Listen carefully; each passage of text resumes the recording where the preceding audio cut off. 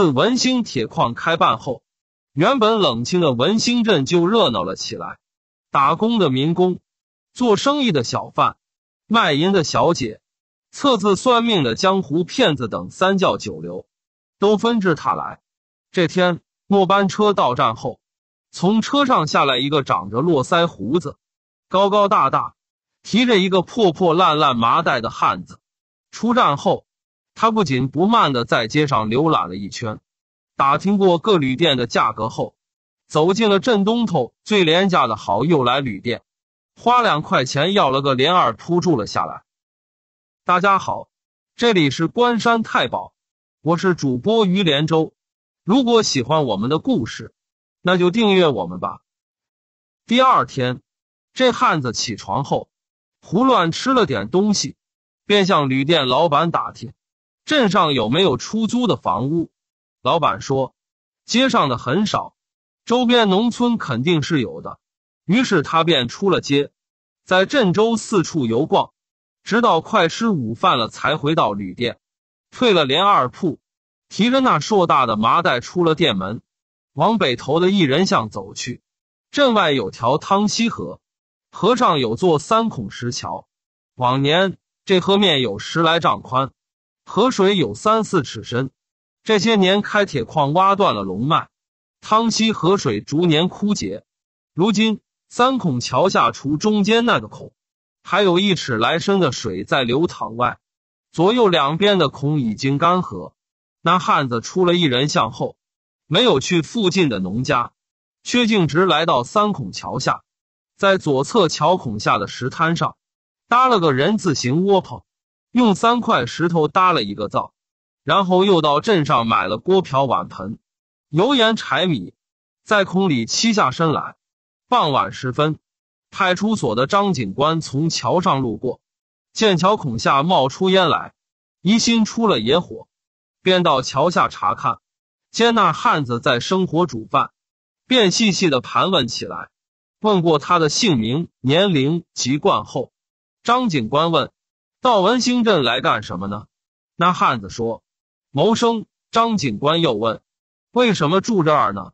那汉子答道：“这里空气新鲜、清净，还不花钱。”张警官要他出示身份证，那汉子诚恳的说：“对不起，身份证丢失了。不过我记得号码。”接着就熟练的背出那十八位阿拉伯数字。张警官听后微微颔首，寻思这人虽然行为怪异，可看样子不像是坏人。最近也没有得到上级追击逃犯的通知，便对这汉子的警惕性松懈了下来。对他说：“到这儿后，要遵纪守法，合法挣钱，切不能有违反治安管理条例的行为。”那汉子点头应承。张警官见没有什么值得交代的了，便转身离去。刚走出五六步，那汉子喊道：“这位警官，请留步。”张警官转过身来，狐疑的打量着他。那汉子走上前来，望着他说：“看你面色，你肾功能不好，有尿频尿急的毛病，需及早调治。”张警官闻言大惊，寻思这家伙还真有点儿神，聊几句就看出我的病来。须臾间，他明白了，这家伙是个有点本事的江湖郎中。张警官钦佩他的眼力。思忖这年头，老百姓谋生的手段五花八门，有意的是该由卫生工商部门监管，只要他不引发治安问题，我也不必闲吃萝卜淡操心，便客客气气的同他告了辞。张警官的判断果然没错，这汉子在三孔桥安下身后，便不时到中梁山上去采药，采来后便摆在三孔桥上卖。镇上的人见他长着一脸的络腮胡，便以貌取人的叫他络腮胡。这络腮胡同其他卖野药的不同，他从不在药价上斤斤计较。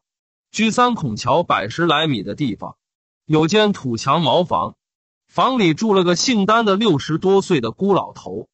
孤老头那几天拉肚子，拉得四眼落眶的。他知道后，便配了几味草药。熬了一锅药汁给孤老头送去，孤老头喝了后就不拉了。孤老头很感激，捉了只老母鸡去谢他，他怎么也不收，还把他从山上采得的野蜂蜜送了些给他，说拉肚子后体质弱，用野蜂蜜补一补。络腮胡最初卖药的时候，大家见他那邋里邋遢的样子，都不愿买他的。后来见他卖的药不仅价廉货真，且为人厚道，便渐渐的都来照顾他的生意了。铁矿上的矿工有个腰痛腿痛的，也来找他拔火罐、扎银针、推拿按摩。他的生意渐渐的兴旺了起来。络腮胡的生意兴旺，引起了镇卫生院陈院长的不满。自古同行是冤家，他决定把这野药汉赶走。这天，络腮胡刚在桥面上摆好药摊，陈院长便带着省卫生厅关于打击无证照行医卖药的文件。准备来修理他，来到药摊前，他恶声恶气的嚷道：“卖草药的，请出示证照。”络腮胡认得他是陈院长，知道来者不善，可一点也不紧张，不卑不亢的答道：“我没有证照。”陈院长说：“无证照卖药，违反了省卫生厅二十四号文件的规定，属打击范围，赶快收摊滚蛋。”否则将予以重罚。说罢，就一面亮出文件，一面用脚去踢摆在地上的芦根、柴胡、老官草等药物。络腮胡见状也不生气，说道：“陈院长不用动气，我也请你看一份文件。”说罢，就下到桥底，从破麻袋里拿出一份复印的文件来，出示在陈院长面前说。这是省卫生厅关于鼓励中草药采集、生产规定的六十六号文件，其中第五条明文规定，药农等人员销售自己采集或种植的各类中草药属合法行为，应予以保护和鼓励。我卖的药都是在中梁山采集的，属自产自销，符合省卫生厅的规定，不属打击范围。对于这份文件。陈院长是心知肚明的，他拿出二十四号文件，只是拉大旗做虎皮，企图把这个抢他生意的络腮胡赶走。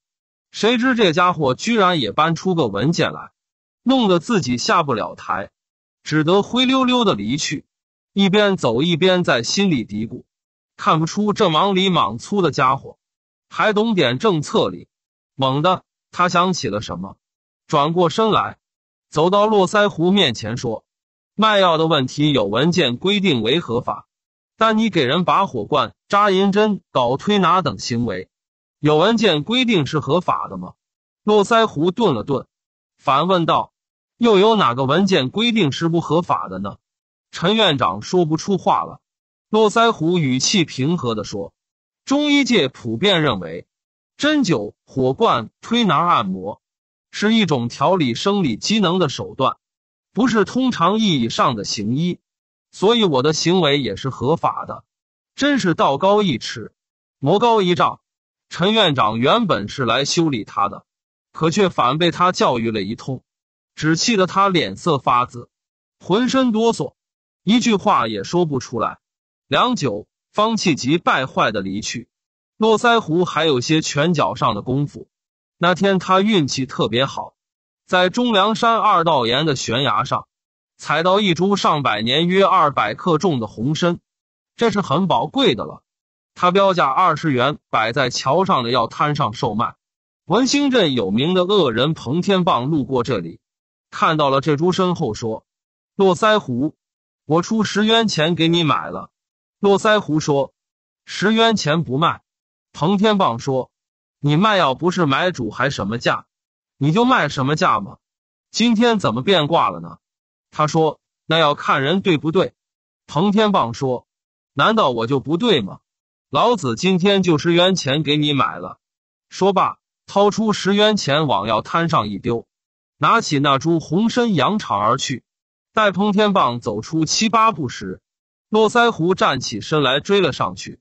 扒的一个扫堂腿，把彭天棒打翻在地。彭天棒在文兴镇方圆数十里横行多年，哪里吃过这个亏？嘴里骂道：“你个络腮胡，活得不耐烦了吗？就要起身来报复他，可接连挣扎几下都起不了身。那狼狈相引的看热闹的路人哈哈大笑。络腮胡把那十元钱丢在地上，从彭天棒手中夺回红参，不慌不忙的回到药摊上。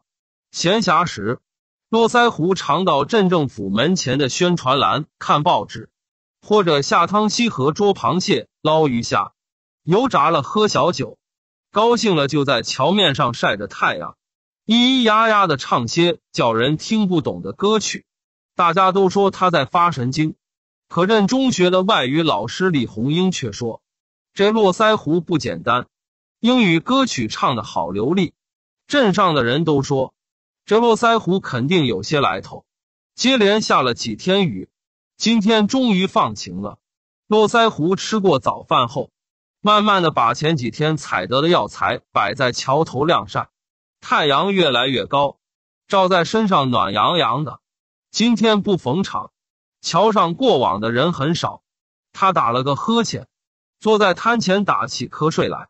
迷糊中听得有人在喊：“络腮胡，络腮胡。”他慢慢睁开眼来，认出喊他的是王九冠。王九冠五十多岁。两个儿子常年在外地打工，三年前老伴过世后就一个人过。去年开春时，肚脐周围长了几个疙瘩，痒得厉害，他就用手抓挠，结果抓破了皮，流黄水，黄水流过后就长出七八个疮来，疼痛难忍，就到镇卫生院看医生。医生说这是七子连疮，要打针。他就缴了八元二角钱，每天一针，连打三天。打针后就慢慢好了，可一个多月后又复发了。他又找医生，医生又给他每天一针，连打三天。打针好了后又复发，如此反复已一年多了。药费由最初的每次八元二角，涨到上个月的二十八元五角。这两天疮痛的厉害，今天一大早。他挑了一条萝卜到镇上卖了二十七元钱，又找卖青菜的邻居借了一元五角，凑足二十八元五角到卫生院打针。开过处方后，他看都没看一下，就把钱递进了窗口。收费员清点完后说：“还差四元。”王九冠说：“不会哟，我数得清清楚楚的呢。”收费员说：“药费是三十二元五角。”你只有二十八元五角，王九冠一怔，问道：“才隔一个月，又涨了四元。”他这才看了看处方，果然是三十二元五角。接着又陪着笑说：“我身上没的钱了，能不能先要把针打了，明天把差的四元钱交来？”收费员说：“不行。”王九冠无奈，愤愤的骂道：“革老子的！”说起还是国营的卫生院，治不了疮，只认得道钱。骂罢，无奈的离去了。王九冠从卫生院出来，路过三孔桥时，见络腮胡坐在草药摊前，靠在桥栏杆上打瞌睡，心里寻思：这人卖的药货真价实，就是不晓得会不会治妻子连疮。于是便喊醒了他。王九冠向络腮胡介绍了自己长疮。及治疗的过程后，问他能不能治。络腮胡捞开他的衣服看了看，说：“只要找得到焦藕和蚂蟥就可以治。”王九冠说：“找得到，要好多钱。”络腮胡说：“治好了再说。”还说我这里不方便，到你家去治。于是收了摊，跟着王九冠前往王家院子。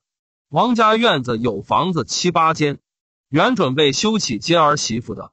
可如今老大在深圳当了上门女婿，老二也耍了城里的女朋友。铁矿开工后，王九冠出租了一间，给在铁矿打工的李老大、李老幺兄弟外，其他房间都空着的。到了王家院子，络腮胡对王九冠说：“你去挖两斤焦藕，嚼烂后装在玻璃，再到水田捉十条蚂蟥。”王九冠按他的吩咐去办。办理停当后，络腮胡叫王九冠脱掉上衣，躺在床上，解开裤带，把肚子上的疮露出来，然后用竹筷从盆里把蚂蟥一条条的夹出来，放在王九冠的肚皮上。王九冠见状，吓得大声斥问道：“络腮胡，你这是要做啥？”络腮胡答道：“用蚂蟥给你吸毒。”那些蚂蟥一落到王九冠身上，便争先恐后的爬到溃烂点上吸吮起来，须臾间便一个个吸得鼓胀胀的了。待吸的不能再吸时，络腮胡便用竹筷把它们夹下来，丢进炉火里。然后再把嚼烂的焦藕糊敷在窗面上，最后用一块布缠好。王九冠觉得肚脐周围凉悠悠的，舒服极了。络腮胡对他说：“两天以后再这样吸一次毒，敷一次焦藕，如此连续三次，就会好的。且至少两年不会再发。不过这几天你必须戒酒，否则就没有疗效。”王九冠点着头说。要得吗？果然，用络腮胡的办法治疗后，王九冠身上那些长了一年多的恶疮不再溃烂，半个月后便慢慢的消了肿，后来又慢慢干了疤。络腮胡对他说：“干疤后很痒，你千万不要抓挠，否则要散毒复发的。”王九冠点头照办。人过几天的痒后，新肉慢慢长出来了。王九冠高兴万分的对络腮胡说：“当初说治好了给钱，现已经好了，要好多钱呢。”络腮胡却说：“莫慌，再过半月看复不复发。半个月后，那新生的皮肤长老恢复到长疮之前的样了。”王九冠预收了李家兄弟三个月的房租，卖了两挑白菜，凑足一百元钱后，到三孔桥下去谢络腮胡。络腮胡见王九冠要给钱，当时拒绝道：“俗话说，一元一元，你的疮能好，不是我有好大的本事，是你投缘而已。你挣点钱不容易，钱我不要你的，你只请我喝顿酒就行了。”王九冠说：“只喝顿酒，那就太亏你了。”络腮胡说：“要么就这样办，要么就算求了。”王九冠忙说。要得，今晚就请你喝酒。这天晚上，王九冠炒了两斤回锅肉，一大碗青椒，熬了一大锅萝卜汤，请络腮胡喝酒。络腮胡说：“你的疮才好，不能多喝，我俩各喝两杯，投个饮就行了。”可喝着喝着，二人就喝高了。王九冠喷着酒气说：“老弟，看不出你有这么大的本事呢。我这疮……”卫生院治了一年多，花了几百块钱都没有治好。你用蚂蟥焦藕就治好了。络腮胡一点也不谦虚，把一块肥肉夹进嘴里边嚼边说：“那可不是吹牛。卫生院那几位爷的水平，能能跟我比吗？”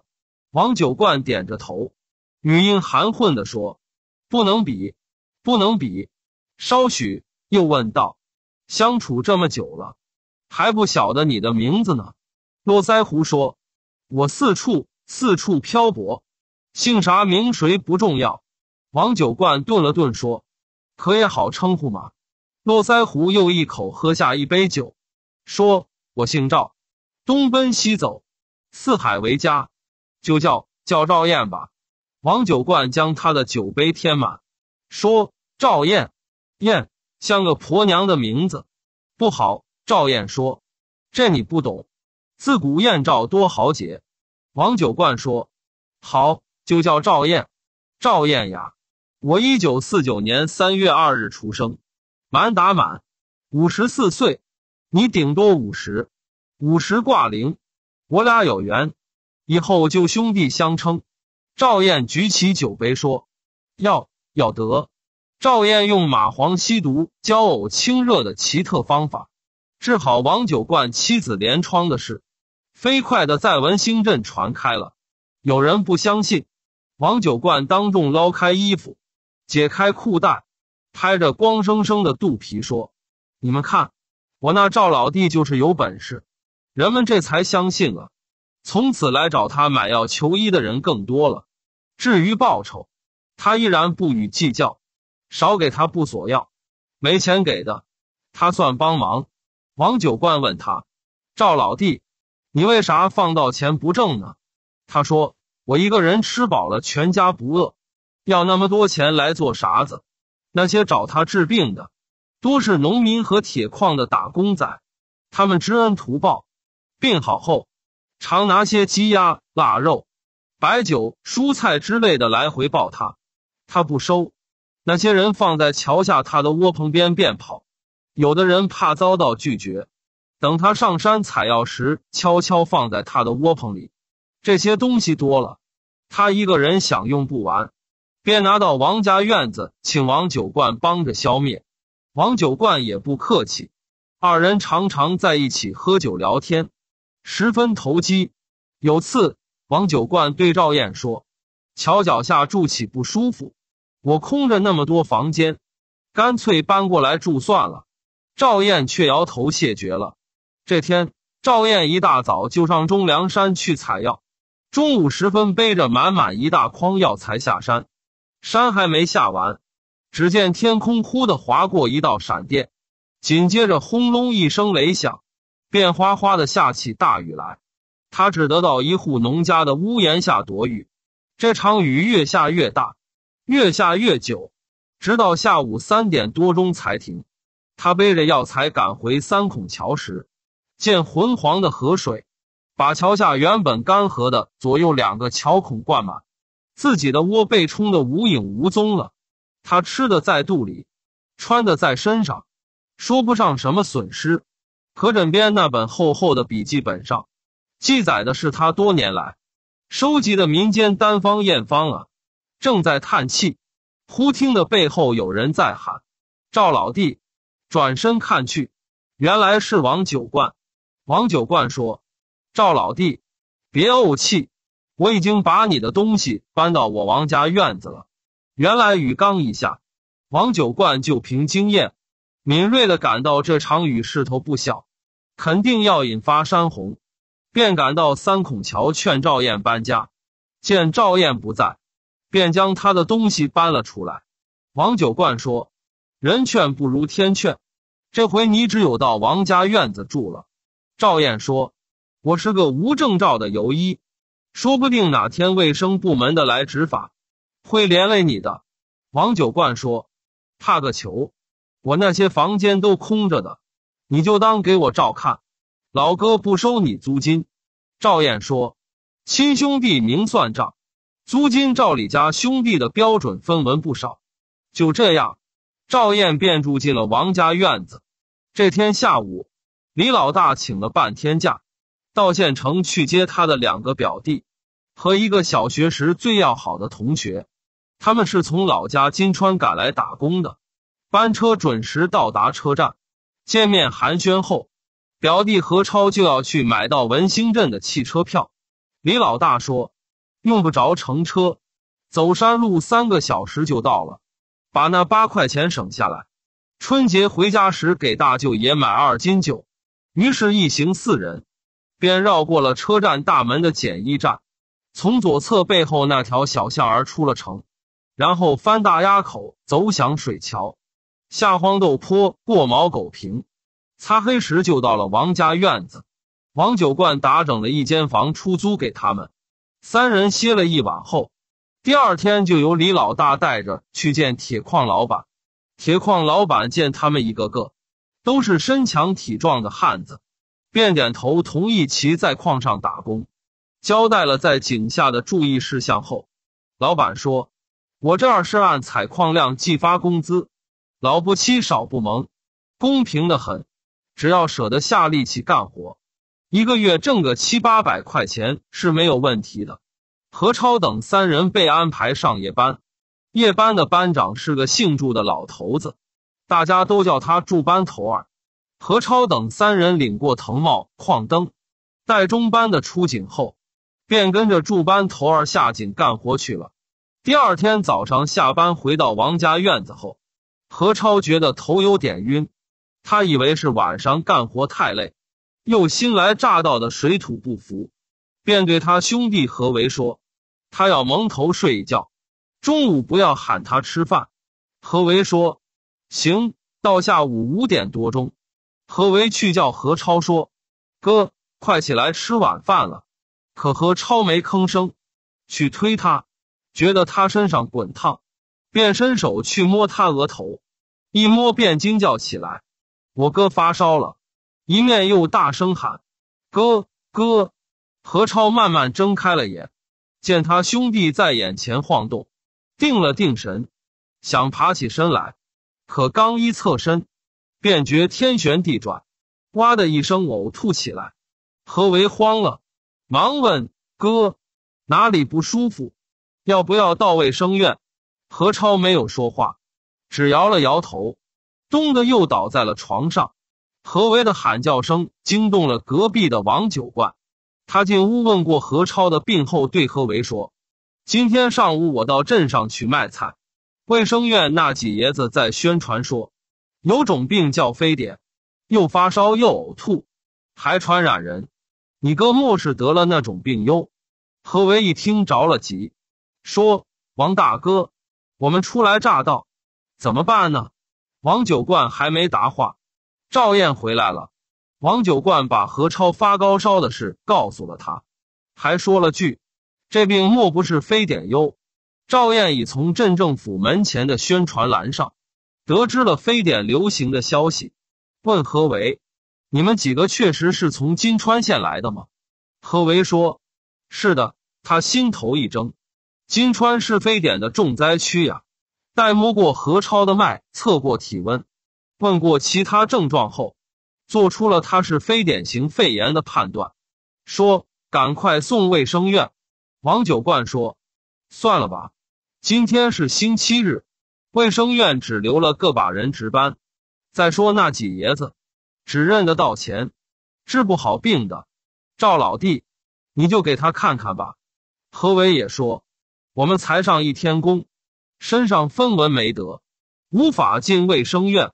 赵燕略为犹豫后，果断的点了点头。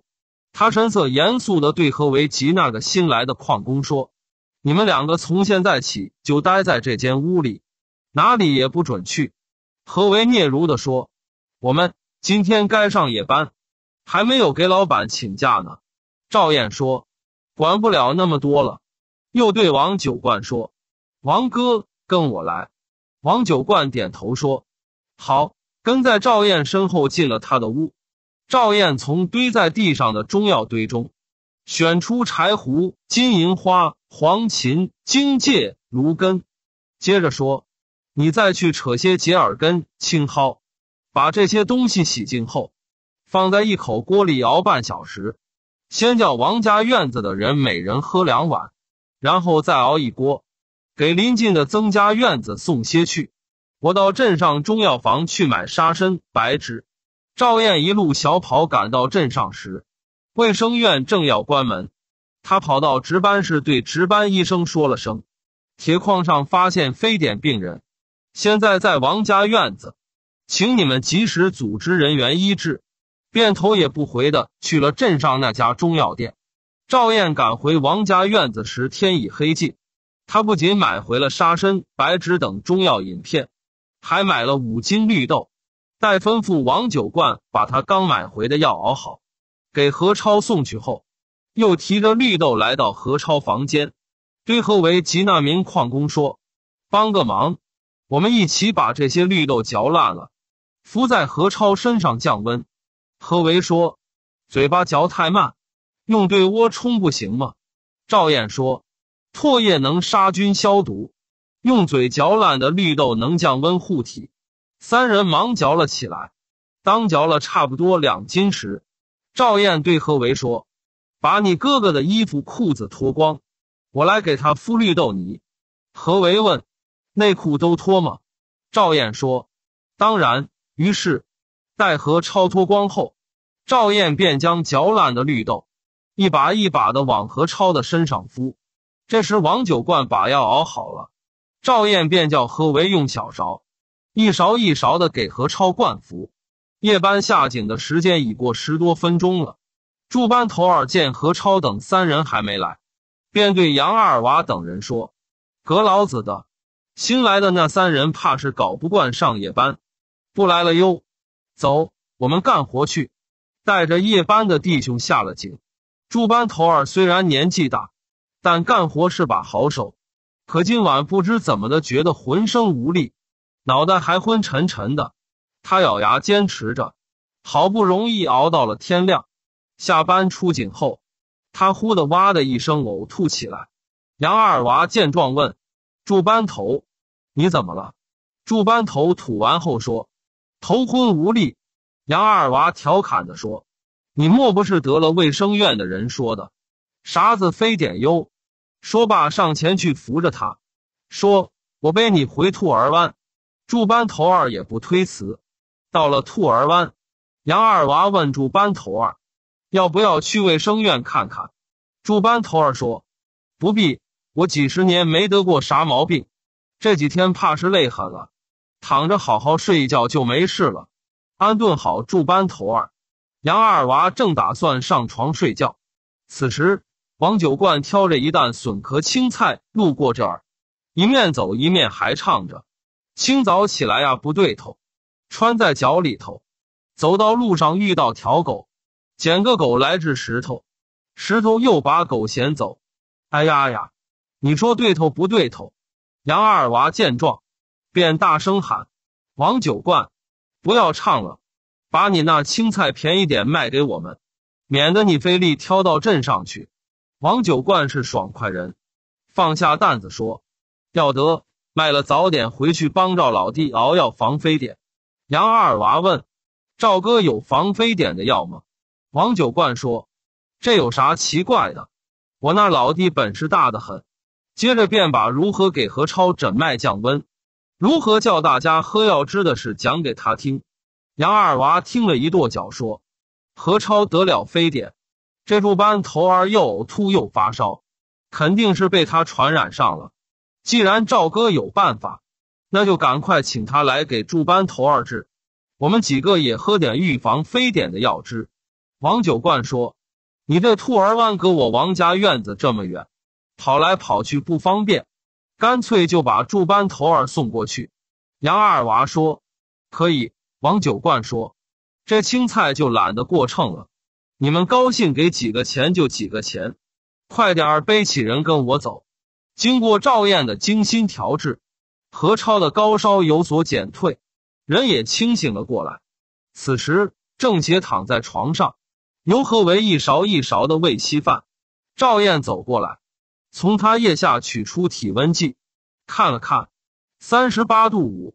他脸上露出了一丝轻松的笑容，说：“只要今天体温不再上升，就不会出大问题的。”何为说：“赵哥，我们才来干活，只有下个月发了工钱后再给你钱了。”赵燕笑了笑说：“这个你就不必担心了。”顿了顿，又说：“等你哥把稀饭吃完后。”把剩的那些绿豆全部嚼完，天黑后把身上原先敷上的抠下来，用温热毛巾把身上擦洗一遍，再重新敷绿豆泥。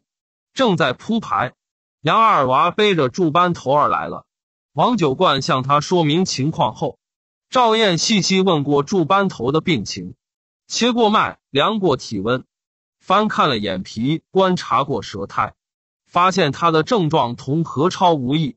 便对杨二娃说：“这位哥可在这里调治，但个人的身体状况不同，能否好转，就看他自身了。”又对王九冠说：“这两天我就和你挤一下，把这位祝哥单独安排在我房间里，以免和和老弟交叉感染。”杨二娃说：“要喝预防非典的药汁。”赵燕说：“这些药汁我熬得多，矿上打工的弟兄愿来喝的。”叫他们都来。杨二娃喝完后，擦了擦嘴，道了声谢。赵燕对杨二娃说：“小老弟，你人年轻，腿脚灵活，我这会儿分不开身，请你帮忙到镇上中药铺，去按我列的单子买些中药饮片。”说罢，将三十元钱连同一张写有沙参、白芷、炒杏仁、薏仁等的药单，交给了杨二娃。杨二娃答应了一声，飞一般的去了。待杨二娃走后，赵燕皱着眉头对王九冠说：“这位姓祝的老哥上了点岁数，调治起来恐怕没有何家老弟那么容易。说罢，把自己的一件半新旧的衣服撕成几大块，对王九冠说：“王哥，麻烦你找人用这些布帮我缝几个能装一两斤稀泥巴的布口袋，我有用。”王九冠接过布片来说：“阁老子的，王家院子连耗子都是公的。”我只有到曾家大院请曾幺婶帮忙了。王九冠把布口袋做好，拿回王家院子时，杨二娃也从镇上回来了。他除了按单上所列买药外，还买了几斤绿豆。赵燕说：“药单上没有绿豆呀。”杨二娃说：“何超不是用绿豆泥敷在身上降温吗？祝班头儿也要降温呀。”赵燕笑道：“这你就不懂了。”所谓辨证施治，就是根据病人各自的生理状况及病情，用不同的方式治疗。这姓祝的老哥和何家老弟的情况不同，就不能用绿豆泥降温。杨二娃问：“用啥子方法降温呢？”赵燕说：“先用你刚才买回来的这十几味药熬汁，给他灌两碗后，再把燕塘的淤泥装在布袋里，在身上滚擦。”杨二娃听后一拍脑袋说：“对头对头！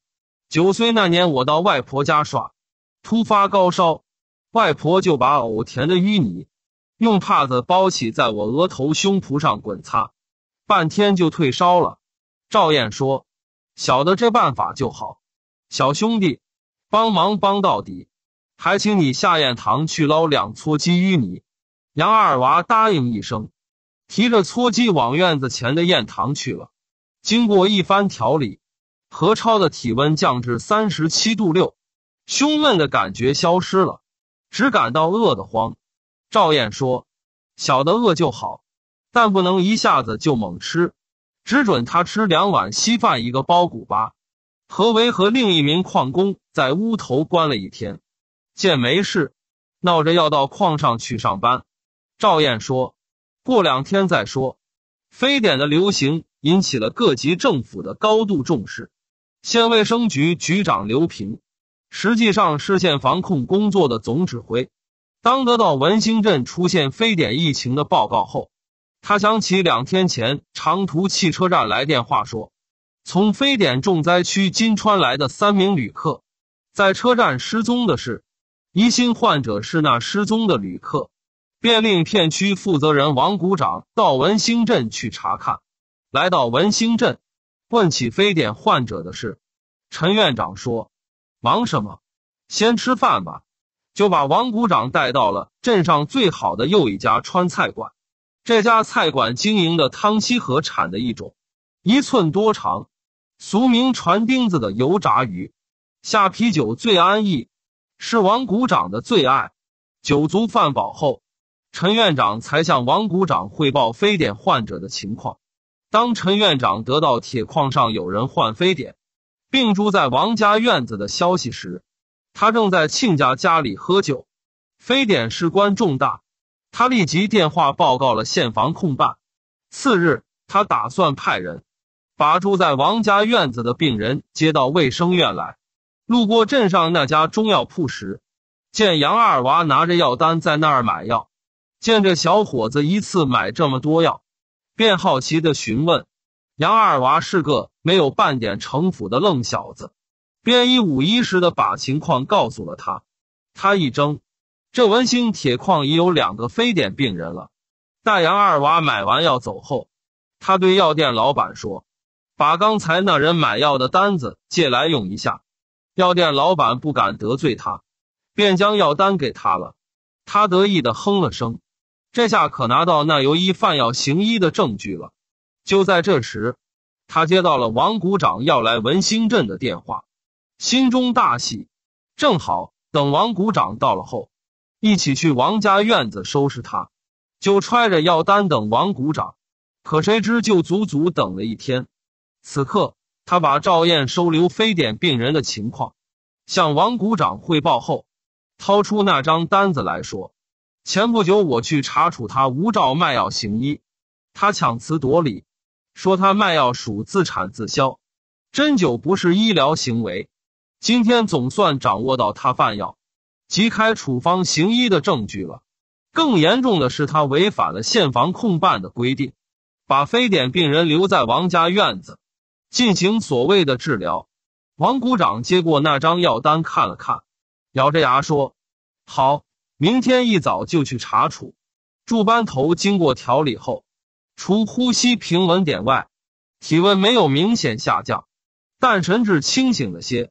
咳嗽也没有那么厉害了。早饭后，赵燕问了他的家庭情况，说如果过两天仍没有好转，就通知他家里人来。说罢，就用热毛巾把他周身擦洗了一遍，然后用装着淤泥的口袋在他身上滚擦。正在这时，王股长、陈院长到王家院子来了。王股长一进门，就嗅到一股淤泥的泥腥味儿。见赵燕正拿着装着淤泥的黑乎乎的布袋，在驻班头儿身上擦来擦去，怒气冲冲的冲上前去，叫了声“瞎胡闹”，夺过他手中的泥袋，狠狠的扔在了地上。赵燕正专心致志的擦滚，这突然的变故让他一怔，定睛一看，是穿着卫生制服的王股长，竟一时语塞。站在旁边为赵燕打下手的王九冠，见这当官的如此粗暴，怒不可遏，狠狠的将王股长一推，王股长一个踉跄跌倒在地。陈院长忙喊道：“有话好说，有话好说！”把狼狈不堪的王股长扶了起来。王股长站起身后，指着赵燕说：“好啊，你伙同刁民开地下诊所牟利，还抱起抗法。”说罢，就掏出手机，就要报警。精于世故的陈院长悄悄捏了王股长一把，劝道：“王股长息怒，先弄清情况再说。”王股长倏地想起去年在双河镇取缔无照卖药时被人殴打的事来，他怕吃眼前亏，便慢慢的放下了手机。赵燕从地上捡起淤泥布袋。一面继续在驻班头儿身上滚擦，一面不紧不慢的问道：“两位领导是来处罚我无照行医吗？”陈院长嘿嘿的干笑着说：“我们了解到你这儿有染上非典的矿工，特地来了解病情。”赵燕说：“那好，就把何超驻班头儿发病及治疗过程和现状介绍了一遍。末了，对王股长说：‘这位领导一来就发这么大的火。’”是看到我用又脏又臭的淤泥在病人身人滚擦吧？我告诉你，杀猪杀屁股，各自的调门不同。用淤泥降温不是我的创新，这在《素问·药光笔谈》上早有记载。我不知你学的什么专业，但混到你现在的位置，至少应该明白中医的玄妙吧？中医理论虽然很难用现代科学原理来解释。也缺乏数据支持，中药的一些化学成分，至今也搞不清楚。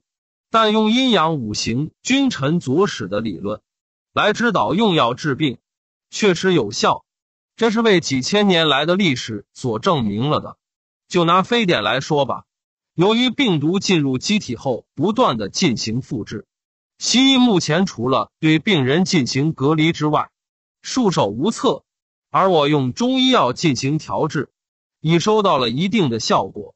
王股长和陈院长被赵燕的这番话镇住了。这哪里是个骗人钱财的江湖游医，分明是个医术高明、理论深厚的行家呀！见二人不说话，赵燕又说：“发现非典后，我及时报告了卫生院，你们没有及时收治，他们身上又没有钱才留在这儿的。当然。”我无照行医的行为违反了国家的规定，但我不是为牟利，我没有收他们一分钱，自己还垫了些药费。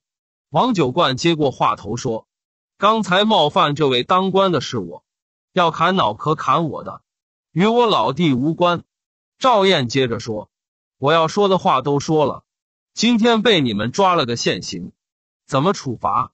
悉听尊便。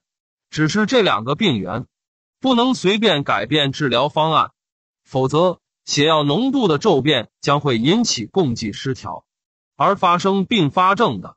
王九冠抓了根扁担在手里，恶狠狠地瞪了王股长和陈院长一眼，说：“哪个敢为难我赵老弟？老子今天叫他走不出王家院子。”原本气势汹汹的王股长，此时竟如漏气的皮球那样蔫了。一向惯于见风使舵的陈院长，这当口也说不出话来。房间里出现一片令人窒息的尴尬寂静中。陈院长的手机铃声响了，他接上话后，那脸上便堆满了笑。听完后，对王股长说：“刘局长电话通知，叫我们十点半钟准时收看省电视台第六频道有关防控非典的重要信息。”王股长不置可否的嗯了一声。陈院长趁机向王九冠和赵燕点了点头，说：“我们要回卫生院。”收听上级有关防控非典的重要指示精神，告辞了，便拉着王股长匆匆离去。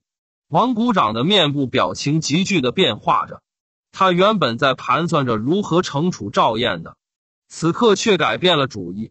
他对陈院长说：“立即把王家院子那两个病人和那个姓赵的游医都转到卫生院来。”陈院长问：“为什么呢？”那游医没有行医资格呀！王股长说：“你呀，真是个木头脑袋。”接着说：“你也看到了，这游医确实有些真才实学。金厅长说要解放思想，实事求是。他来卫生院把病人治好了，功劳自然少不了你院长的一份嘛。”陈院长在心里嘀咕道：“我几十岁了，难道还不懂工作是我的，成绩是领导的这种潜规则吗？”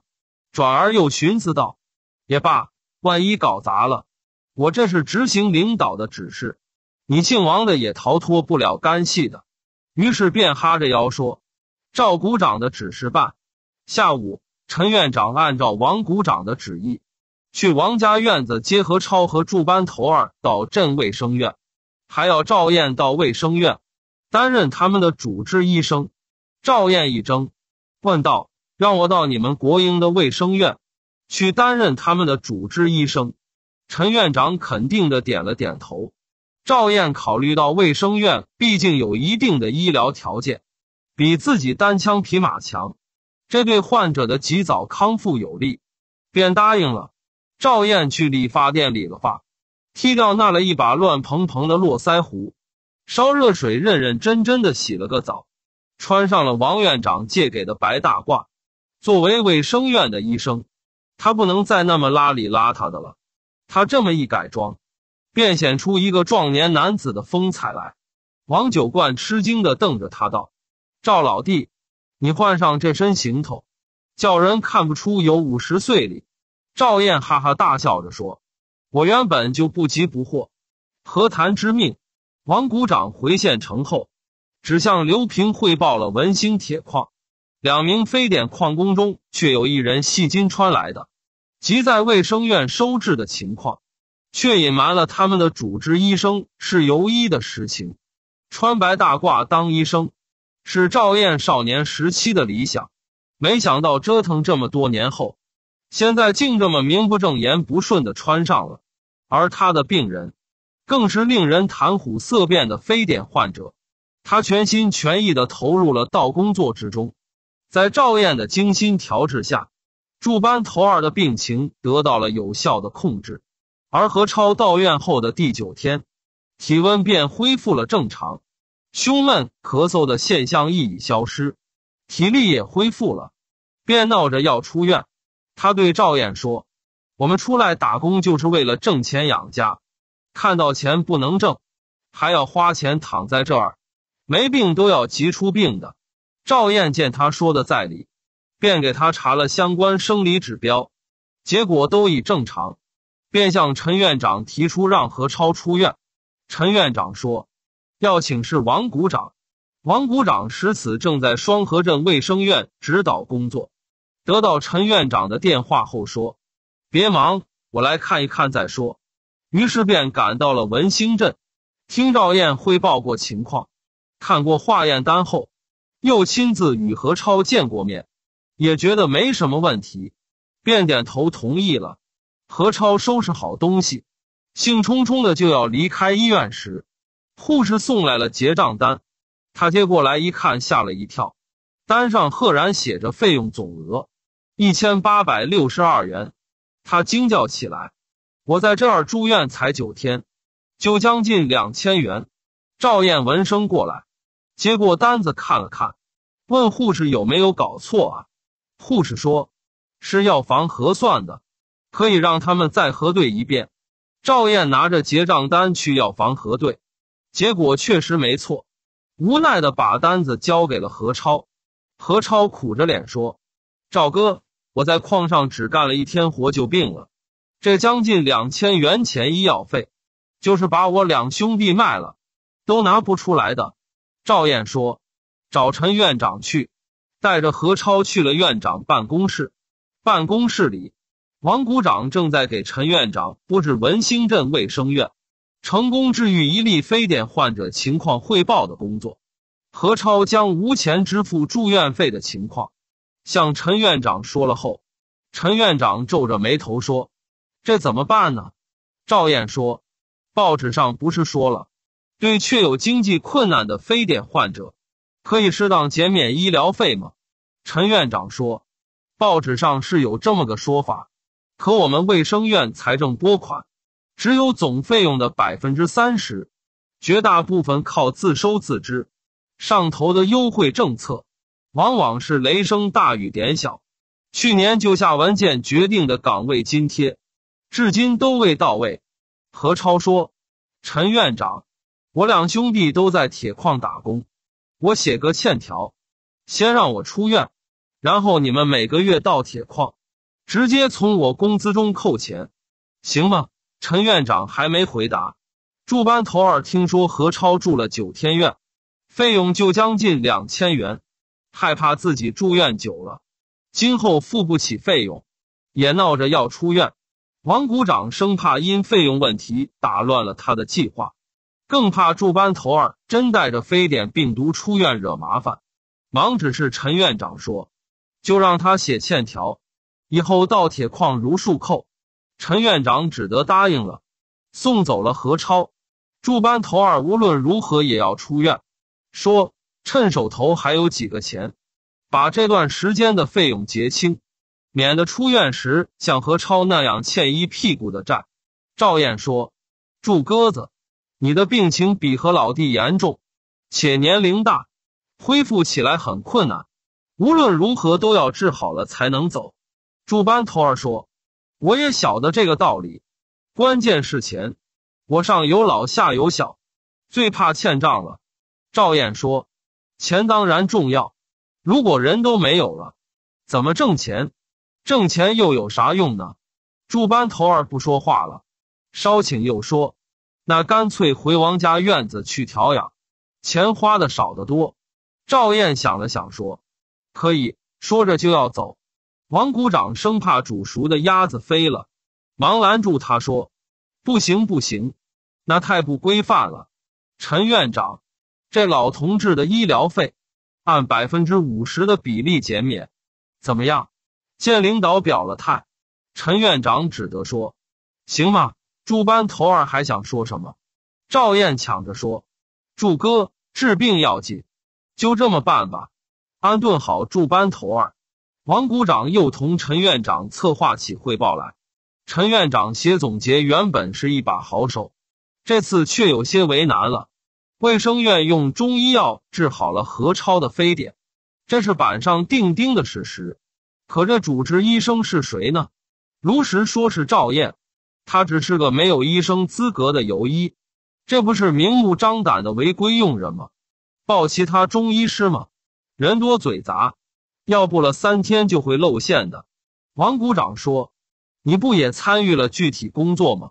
就报你吧。”可陈院长不敢，他只是在护士休假那天为病人注射了两只柴胡。王股长想了想说：“金厅长不是在电视上讲要解放思想、实事求是吗？就报赵燕。”陈院长说：“这怎么行？”王股长说：“怎么不行？”抗日战争时期，地主老财恶霸劣绅，绿林土匪，只要愿意抗日，都可以加入统一战线。而今非典横行，能治好病的就是好医生。一席话说的陈院长茅塞顿开，连声道：“王股长高明，就实事求是的汇报。”两人统一了认识后，王股长说：“那就先口头汇报，但不要说他是游医，然后再准备书面材料。”陈院长说：“好。”即刻拨通了刘局长的电话。刘局长听完后问道：“主治医生叫赵什么？说清楚点。”陈院长答道：“赵燕，齐楚燕，赵魏韩中的那两个字。”刘局长略有所思道：“赵燕这名字怎么听起来有点熟呢？”接着说：“对已治愈的患者要跟踪了解，警惕病情复发。你们要抓紧时间做好经验总结。”我也尽快下来看一下。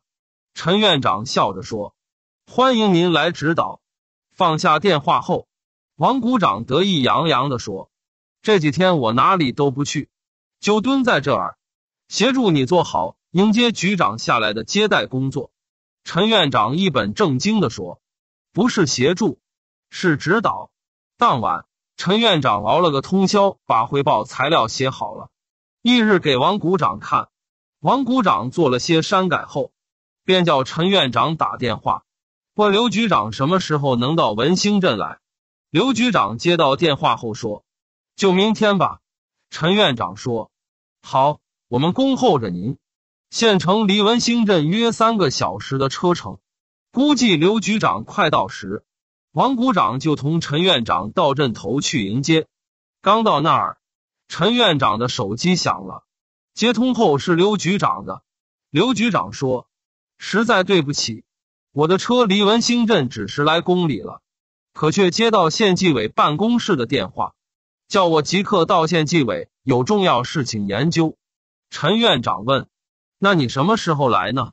刘局长说：“我也说不清，但我一定会来的。”陈院长挂了电话，将刘局长不能来了的原因告诉了王股长。王股长脸色骤变，啊了一声，语无伦次的说：“那我们就就只有等了。”下午要下班的时候，刘局长打电话问陈院长：“王股长现在在文兴镇吗？”陈院长答道：“在呀。”刘局长说：“叫他哪儿都不要去，明天上午我要来文兴镇。”陈院长答应了一声：“好。”陈院长把刘局长的话告诉王股长时。不知怎的，王股长竟显得有些紧张。晚饭后，陈院长约他到家里打麻将。他说头有点痛，早早的休息了。翌日上午十点多钟，刘局长电话告诉陈院长，叫他和王股长在办公室等着。他的车快到文兴镇了。二十分钟后，一辆小汽车停在了文兴镇口，车上下来两男一女。他们径直往镇卫生院走去。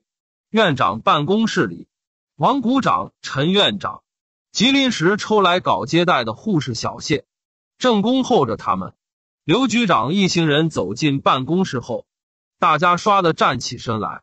刘局长指着那位穿夹克衫的中年男子，向大家介绍说：“这位是县纪律检查委员会的白涛同志。”白涛站起身来。客气的向大家点了点头，紧接着问王股长：“你就是王行吗？”一贯口齿伶俐的王股长竟说不出话来。白涛再次严肃的问：“你就是王行吗？”王股长这才结结巴巴的说：“我我是王行。”白涛嗯了一声，掏出工作证递在他面前说：“我是县纪委的白涛，根据我们掌握的线索，并经初步查证。”你有重大的经济犯罪嫌疑，经批准，从现在起开始对你实行双规。王行的脸上倏地淌出了冷汗，陈院长的脸色也骤变。白涛说：“王行，跟我走吧。”王行惊慌失措的站起来，哭着叫了声：“刘局长！”刘局长板着脸说：“去吧，老实交代问题，争取从宽处理。”王行无奈的跟着白涛和公副局长走了。陈院长被眼前这一幕惊呆了。刘局长对陈院长说：“王行经济犯罪的问题，今后要向大家宣布的。陈院长神色不安的连连点头。刘局长喝了口水，微笑着继续说：“陈院长，谈谈你们用中医药成功治疗非典的情况吧。”陈院长这才回过神来。好，我这就汇报。说罢，先递给刘局长一份汇报材料，然后再口头将何超驻班头出现高热现象，赵燕在王家院子以中医药调治，然后转来卫生院继续治疗。而使何超恢复正常，驻班头儿病情缓解的情况，做了详细汇报。最后说，当初我们把赵燕招聘来院工作的做法是有些不妥，但却解决了问题。刘局长听后说：“你们的做法很好，符合金厅长讲话中解放思想、实事求是、因地制宜的指示精神，体现了你们勇于冲破人事体制的束缚。”大胆改革的思想得到刘局长的表扬，陈院长心里美滋滋的。稍请刘局长问：“那个叫赵燕的人现在在哪儿呢？”陈院长答道：“他在病房里，要不要叫他来向你汇报呢？”刘局长说：“不用了，我们到病房去看一看。”于是便随陈院长去了病房。这段时间是赵燕有生以来最畅快的时期。尽管这身白大褂穿的名不正言不顺，可他毕竟理直气壮的在治病救人了。刘局长来到病房时不见赵燕，护士说他到调剂室去了，于是由陈院长陪着去了调剂室。赵燕正在配药，陈院长走上前去对他说：“老赵啊，刘局长指导工作来了。”刘局长微笑着向他伸出手来，赵燕顿了顿。慢慢的伸出了手，可就在四目对视的刹那间，两人竟像一对木偶般的呆住了。时间一秒一秒的逝去，终于，刘局长惊叫了一声，赵岩猛地扑了过去，抱着他哭泣着大声说：“十七年了，你你在这儿。”此刻，陈院长的惊愕远远胜过刚才王行被带走的那一幕。赵燕的真名叫赵岩。那天和王九冠喝高了时，为敷衍他而胡乱说成了赵燕。他和刘平是大学时的恋人，那时他们在省中医大学临床专业学习。赵岩来自贫困山区，他长得英俊魁梧，学习成绩优秀，爱好广泛，不仅是校足球队的中锋，还是拳击队的散打冠军，女生们心中的白马王子。刘平的父亲是省政府机关的干部，他体态贤纳，容貌姣好，是班上的团支部书记，小欣欣舞蹈队的领军人物。在大三的时候，他们便相恋了，郎才女貌，是同学们中令人羡慕的一对儿。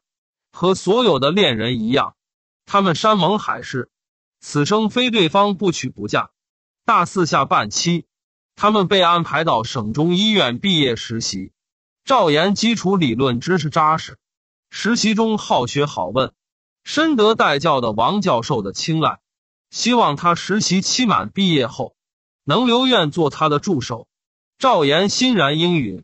刘平则打算毕业后攻读硕士学位，还有两个月就实习期满毕业了。那天，赵岩接到了老家嫂嫂的长途电话，嫂嫂说。哥哥在建筑工地砌砖时，脚手架突然倒塌，从十多米的高空摔下来，头部重伤，昏迷不醒，现正在地区医院抢救。赵岩闻讯惊愕不已，匆匆的请假，乘长途汽车赶往老家的地区医院。赵岩赶到地区医院已是次日上午了，哥哥摔成了颅内出血，已下了病危通知。他拉着主治医生的手说：“医生，我哥哥是我们一家五口的顶梁柱，你一定要救他。”医生点头说：“放心，照目前的情况看，你哥哥会脱离危险的。”赵岩悬着的心总算稍稍放了下来。一会儿，护士通知他们说：“立即缴两万元的手术费。”嫂子说：“入院的时候缴了一万元。”不到两天又要缴吗？护士说，昨天缴的费只剩一千多元了，今天都不能维持。赵岩埋怨嫂子，为什么不多带点钱来？嫂子说，老板只给了一万。赵岩说，那我赶到工地去找老板拿钱。赵岩找到老板后，老板说，一万元钱还不够吗？赵岩把情况做了说明后，老板皱着眉头说：“现在工程上资金紧张，实在抽不出多余的钱。”赵岩压抑着心中的怒火说：“我哥哥是因公受伤，企业应无条件的承担医疗费。”老板说：“是呀，是呀，要不再给你一万吧？”赵岩说：“一万不够呀。”老板说：“你再从其他渠道想想办法嘛。”赵岩想，这铁公鸡一毛不拔，待治好哥哥的伤后再找他算账，便急匆匆的赶回老家找亲戚朋友借。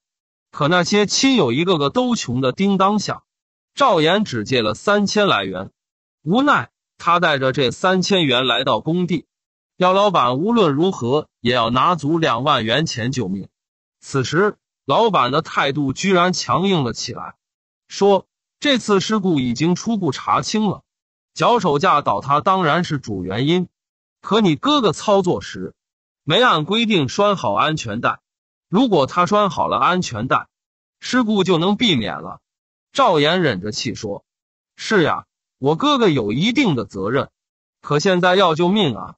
可老板却不理不睬的抽起烟来。赵岩急了，扑通一声跪在地上：“老板，我求您了！”老板依然不理不睬，赵岩气愤至极，猛地站起身来，抓住他的前胸质问道：“你到底给不给钱？”老板说：“我已经给了。”赵岩气得丧失了理智，骂道：“你个龟儿，不给钱救命还算个人吗？”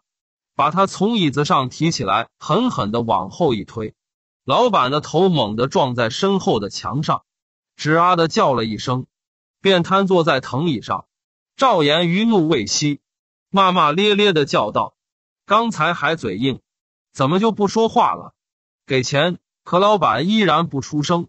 此刻，赵岩猛地发现藤椅靠背上满是鲜血，他一怔，这才知道自己惹祸了。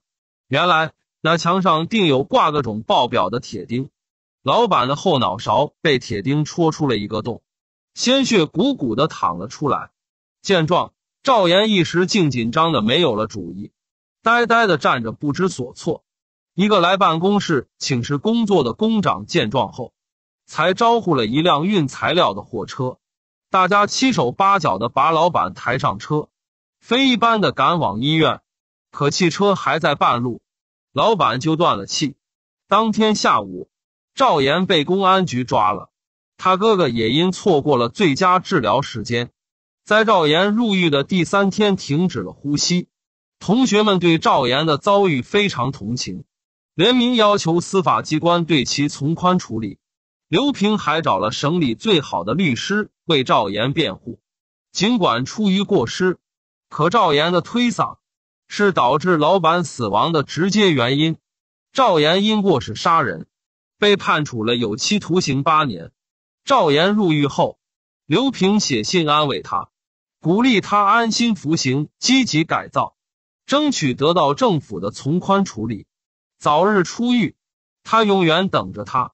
赵岩回信告诉他说，自己会安心服刑的，同时也理智的告诉他，千万不要再等他了，希望他能在生活中找到新的爱。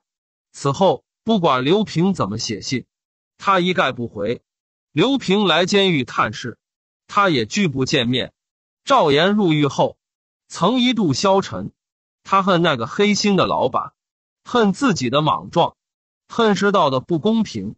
他甚至想到过自行了断，可他放心不下他那年迈的母亲。服刑期满八年后，他被释放了。回到家，见大门紧闭，院子里杂草丛生，像是久无人居住的样子。在他入狱的第三年，母亲过世了。这是嫂子写信告诉他的，可嫂子呢？他向邻里打听，才知嫂子在母亲过世的第二年带着侄女改嫁了。赵岩默默的打扫了房屋，把家里荒芜的土地开垦出来，打算就此在老家种地，日出而作，日落而息，了此残生。然而不久，这一带遭遇了百年不遇的大暴雨，山上的泥石流冲毁了赵岩辛辛苦苦开垦出来的那几亩坡地，万般无奈，他只得到一家路边餐馆去当杂工。那老板得知他劳改释放犯的身份后，十分歧视他，常常无故呵斥为难他。可为了生存，他强忍了下来。后来他发现那老板常用死鱼充鲜鱼，用地沟油炒菜坑蒙顾客。有一次，赵岩的一个小学同学带着几个朋友来店里吃饭，赵岩认出他后，悄悄告诉了这儿的实情。那同学领着朋友走了，老板悟出了其中的玄机，把赵岩臭骂了一顿后，将其辞退了。赵岩被辞退后，一时无处可去，无以为生，他心里充满了怨恨。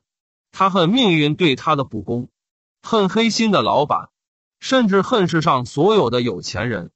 此时，他偶遇一个当初的狱友，那狱友释放后。办了一个专为人打听隐私的侦探公司，生意还挺不错。得知赵岩的情况后，给他出主意说：“你读过中医大学，以后何不就靠行医卖药为生呢？”赵岩说：“行医卖药是要办相关证照的，我没拿到毕业证，又是一个劳改释放犯，肯定是办不到的。”狱友说：“你娃真是读书读到牛屁股里去了。”办求得个证照呀！你看黑市里行医盗药的哪个有证照了？于是为了生存，赵岩也加入了这一行列。在骗取钞票的同时，他更得到报复社会的满足和戏弄富人的乐趣。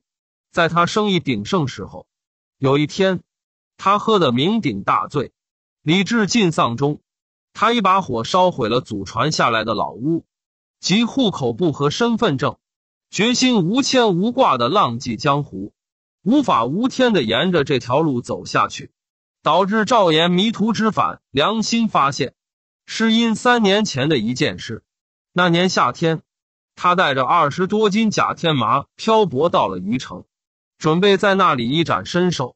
虞城是著名的火炉城市，到了那里，他打听到城郊的南山上。修建有两万多平方米建筑面积的避暑山庄，他想，能够成天不干活去避暑的，肯定都是有钱人。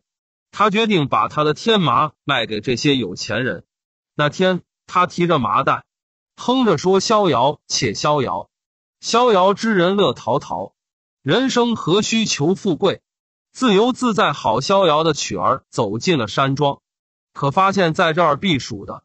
大都是六七十岁，靠退休金过日子的老头儿和老太太。他不忍心去坑这些辛劳了大半辈子的老人，打算另取他处。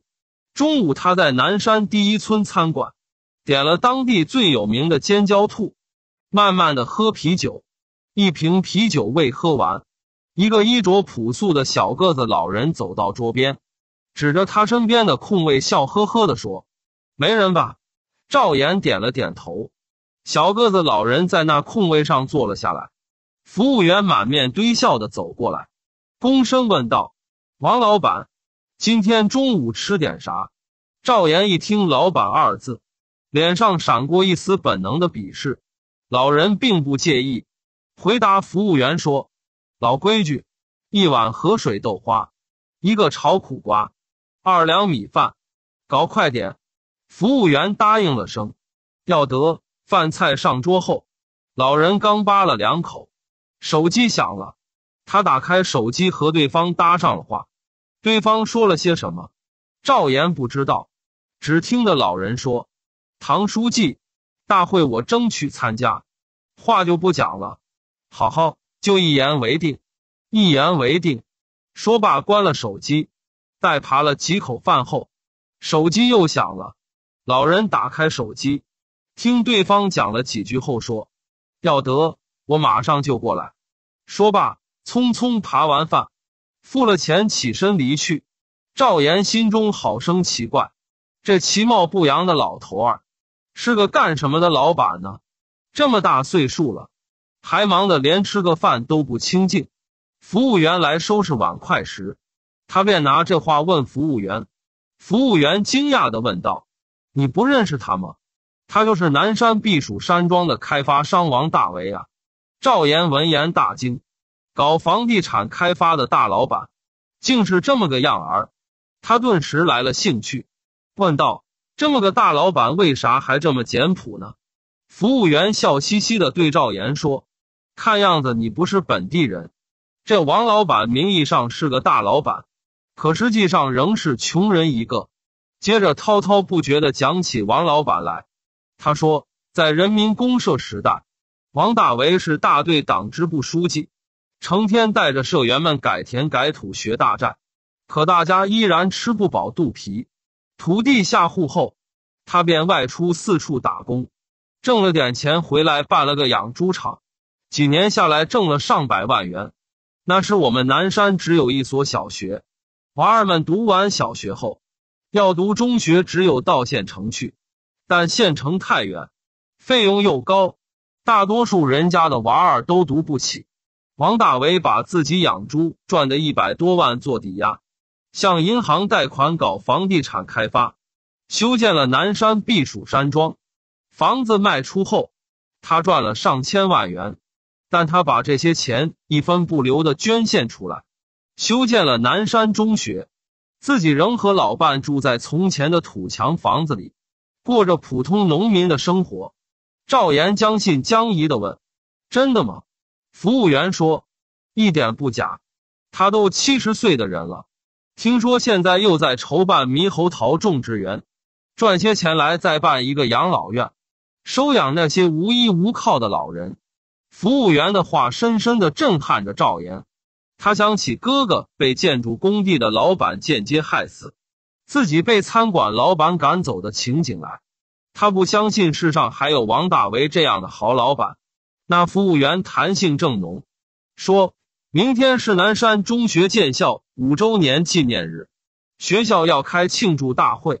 听说市委唐书记、教育局高局长都要来参会，王老板还要上台讲话呢。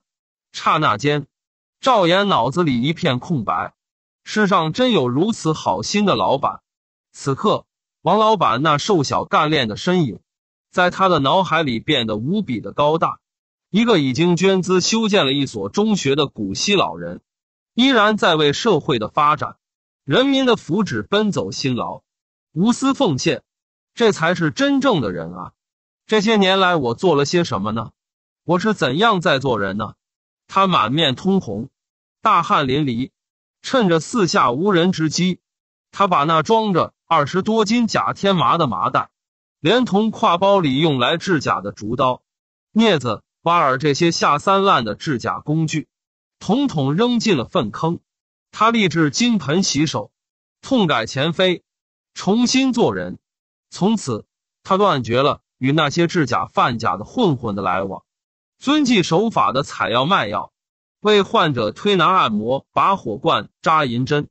他还广泛的搜集整理民间的单方、验方，并用自己所学的中医理论。予以完善充实，实以补缺的为边远乡村的民众防病治病。前不久，他听说中梁山的野生药材资源丰富，便辗转来到了文兴镇。没想到这么阴差阳错，竟邂逅了学生时代的恋人，已是县卫生局局长的刘平。磨难使赵岩具备了非凡的理智。片刻间，他轻轻推开怀中的刘平。轻声说：“冷静些，请注意你现在的身份和场合。”刘平闻言一怔，惊愕的脱离了赵岩的怀抱，理了理头发，尴尬的对同样尴尬的陈院长说：“失态了，他是我大学时的同学，分别十七年了，今天第一次见面。”陈院长语无伦次的说：“啊，你们谈你们谈吧。”便慌乱的离去了。赵岩入狱后，刘平暗自发誓，海枯石烂也要等他。然而赵岩对他的不理不睬，终于激怒了他。在他服刑后的第四年，他赌气的把自己嫁给了一个营职军官。婚后不久，那军官复原了，在省公安厅工作。而今他们的儿子都上小学四年级了。尽管如此，那份初恋的情愫，却让他在思想深处深深的镌刻着赵岩的影子。故而这意外的相见，竟使他如此忘情。刘平对赵岩说。十七年未见面了，我们找个地方好好聊聊吧。赵岩犹豫着说：“可现在我正在上班呀。”刘平笑了笑说：“没关系，给陈院长打声招呼就行了。”赵岩点了点头，把已调剂好的药物交给护士，同刘平去了镇北头的新兴茶楼。赵岩第一次进茶楼，感到有些不习惯，可兴奋中的刘平。一点未察觉到赵岩的窘态，不等服务小姐送上茶水点心，便滔滔的侃了起来。是的，十七年了，他有多少话要说啊？他幸福的回忆起了学生时代，他们真诚相爱的点点滴滴，以及赵岩入狱后，他对他的相思的苦痛。末了，他质问赵岩：“当初你给我回过一封信后，为什么再也不理睬我了呢？”赵岩平静的答道：“我不是在那封信里讲的清清楚楚的吗？因为我爱你，所以绝不能让杀人犯给你的人生染上污垢。”刘平沉默着良久，他深情的凝视着赵岩说：“告诉我，这十七年你是怎么过来的？”赵岩只三言两语，便简略谈了这些年自己的经历。刘平猛地想起了什么，问。我在县卫生局局长的岗位已整整三年了，可怎么一点也不知道你就在关县值业呢？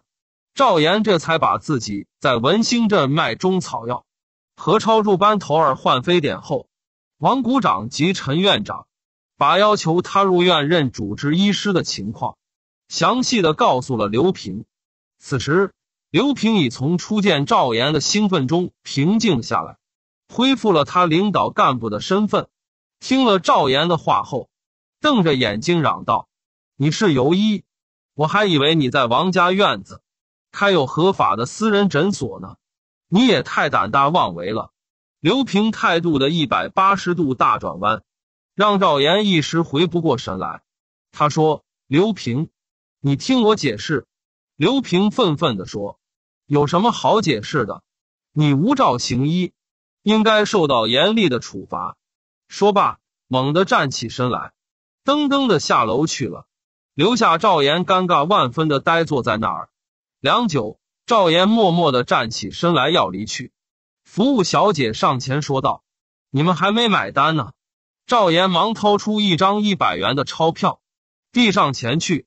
服务小姐细声说：“对不起，先生，两份点心，两杯香茶。”一共是一百二十元，赵岩窘得满面通红，在身上掏了半天，才用那些五元、一元、五角的零钞凑足一百二十元买了单。刘平气喘吁吁的进了卫生院，一掌推开了院长办公室的门。陈院长正在等刘局长用午餐，见刘平出现在门口，起身笑盈盈的说：“刘局长。”我在阅兵酒楼已为你订好了午餐，正宫后你前去呢。刘平怒气冲冲的跨进来，拍着桌子呵斥道：“老实交代，收了多少贿赂，才把这个游医招进医院的？”陈院长见上司发怒，吓得双腿直哆嗦，忙不迭声的说：“是王股长，是王行的主意。”接着把王行指示自己。安排赵岩进卫生院治非典病人的过程，如实做了交代。刘平听后气上加气，好你个陈敬东，王行是个腐败分子，对他的指示你就这么奉若神明？陈院长吓得语无伦次的说：“刘局长，我错了，愿意接受上级的处理，接受上级的处理。”刘平余怒未息，顿了顿，他一字一句的说。现在我以县卫生局局长的名义对你们院聘用游医的行为，做出如下处理：一、你这个院长写书面检查，做深刻反省；二、将由一赵岩立即予以辞退，并处罚款人民币三千元；三、将已经收治的非典病员立即转送县医院治疗。说罢，转身就要出办公室。站在办公室门外的赵岩，将陈院长的话及刘平宣布的处理决定听得清清楚楚。此刻，他堵住刘平的去路，大声说：“刘局长，我可以立即离开卫生院，可来这里治非典患者不是我的本意。这三千元的罚款对我实在太不公平，我无法接受。”刘平毫不理睬，将赵岩一推。怒气冲冲的走了。刘平宣布过处理决定后，赵岩当天下午就回到了王家院子。一进院子大门，王九冠就喜滋滋的问：“祝班头的病这么快就好了吗？”赵岩没有回答。王九冠把问话重复了一遍。赵岩不快的答道：“没有好。”王九冠说：“没有好，你怎么就回来了呢？”赵岩这才对王九冠把上午发生的事一五一十的讲了出来，还毫无保留的把他同刘平曾有的恋爱关系告诉了王九冠。王九冠听后嬉皮笑脸的说：“看不出老弟你还这么风流呢。不过这婆娘无情无义的，当了官儿就认不得老乡好了。”赵岩说：“站在他的立场上，也该这么做。”王九冠说。该个屁！就不缴罚款，他还敢把你卵子咬了？确实，他完全可以脚底抹油一走了之。可他却对王九冠说，他打算写一份书面材料，说明自己到卫生院的缘由及工作。仅仅只有十二天，陈院长至今未发一分钱工资的情况，请求不予罚款。王九冠听后说：“赵老弟，你想的这么周到。”怕是对那婆娘藕断丝不断吧？赵岩听后默默不语。祝班头病情严重，到县医院后治疗无效死亡了。得知文兴镇卫生院用中医药治疗好一例非典病人的报告后，金厅长很感兴趣，亲自到县里来了解。在县府小会议室里，刘平向金厅长将情况做了汇报，最后说：“金厅长。”需要检讨的是，我们违背了卫生部的规定，聘用了游医到医院工作。金厅长听后沉默良久，说：“由于这个群体非常复杂，其中有不少制假贩假、骗人钱财的不法分子，也有对医药知识一知半解、拉大旗做虎皮的游方郎中，更有因种种原因被社会抛弃了的有真才实学的人。”顿了顿。他转身对随行的医政处沈处长说：“我省医师、药师的资源都严重不足，回省里后我们要研究一下，要建立一种制度，不拘一格的使用人才，让那些有真才实学的人发挥作用。至于对他的处罚，我看就免了吧。”刘平笑着说：“赵厅长的指示办。”金厅长一行离去后，刘平打电话给陈院长。请他转告赵岩，对他不做任何处理了，并对那天对他发火的事表示歉意。赵岩谅解了刘平。几个月后，非典的流行像一阵风似的过去了，一切都恢复了常态。这天，赵岩从山上采了些紫地丁，麦门东何首乌在三孔桥上售卖。因他的信誉极好，又有治好非典病人的美誉。文兴镇方圆几十里的人都信他敬他，所以他那一麻袋药摆出没多久就卖完了。他收拾好空麻袋，正欲离去，只见桥那边有一个身穿卫生制服的女人，面带微笑向他走来。那女人走到他面前，甜甜的叫了声“赵岩”，他一怔，这才看清这女人竟是刘平。原来金厅长一行人回到省城后。只是起草了一份关于发挥我省闲散医药科技人员积极作用的通知。通知主要是提出对民间闲散的医药科技人员，由省卫生厅进行严格的甄别考试，合格者发给执业医师药师证书，持证书者可在本省范内合法从业的主张。省政府批准了这份通知，刘平欣喜不已。帮助赵岩的机会来了，他瞒着赵岩，利用去省城开会的机会，到母校为赵岩补办了肄业证。还通过在省公安厅工作的丈夫的关系，到赵岩的户籍所在地，以最快的速度补办了身份证、户口簿。今天他专程到文兴镇来找赵岩，想给他一个惊喜。赵岩迎上前去，惊疑的问道：“你怎么到这儿来了？”刘平反问道：“我就不能来吗？”赵岩微笑着说：“欢迎欢迎。”寒暄过后。刘平将赵岩的肄业证、身份证、户口簿递到他面前。赵岩痴痴的问：“拿这个干什么？”刘平大声说：“好事啊！”接着把省卫生厅的通知递在他手中。赵岩看后高兴万分，忘情的把通知、身份证等往衣袋里一塞，张开双臂就要去拥抱刘平。刘平慌了，对着他伸来的手一掌打去。恶狠狠的骂道：“胡闹！”赵岩这才清醒过来，窘得满面通红的不知所措。良久，刘平红着脸，微笑着提出要到赵岩住的地方去看一看。赵岩难为情的说：“有什么好看的呢？脏兮兮、乱糟糟的。”刘平一定要去。路上，刘平告诉赵岩，省里的考试定于下月二十六号。他已经在网上为他报了名，叫赵岩这段时间就不要去采药卖药了，抽点时间看看书，还送他两千元。作为到省城复考的费用。赵岩说：“不用，我还有些积蓄里。”到了王家院子，赵岩打开了自己的房间，果然如他所说，房间里脏兮兮、乱糟糟的，还有一股汗臭和中药混杂的怪味。再看看赵岩那蓬乱的长发和几乎遮住半张脸的络腮胡，刘平又好笑又好气。他板着脸嗔怪道：“这么邋里邋遢的，还想当正规的医生？”说罢就动手去收拾房间。赵岩只嘿嘿的傻笑着，调侃的说：“老同学来了，午饭应该由我请，只是我受聘到卫生院工作的那十二天。”你还没有给我发工资，没钱进饭馆，委屈你在这儿吃一顿真正的便饭吧。他向王九冠借了半块腊肉、几个萝卜，招待了刘平。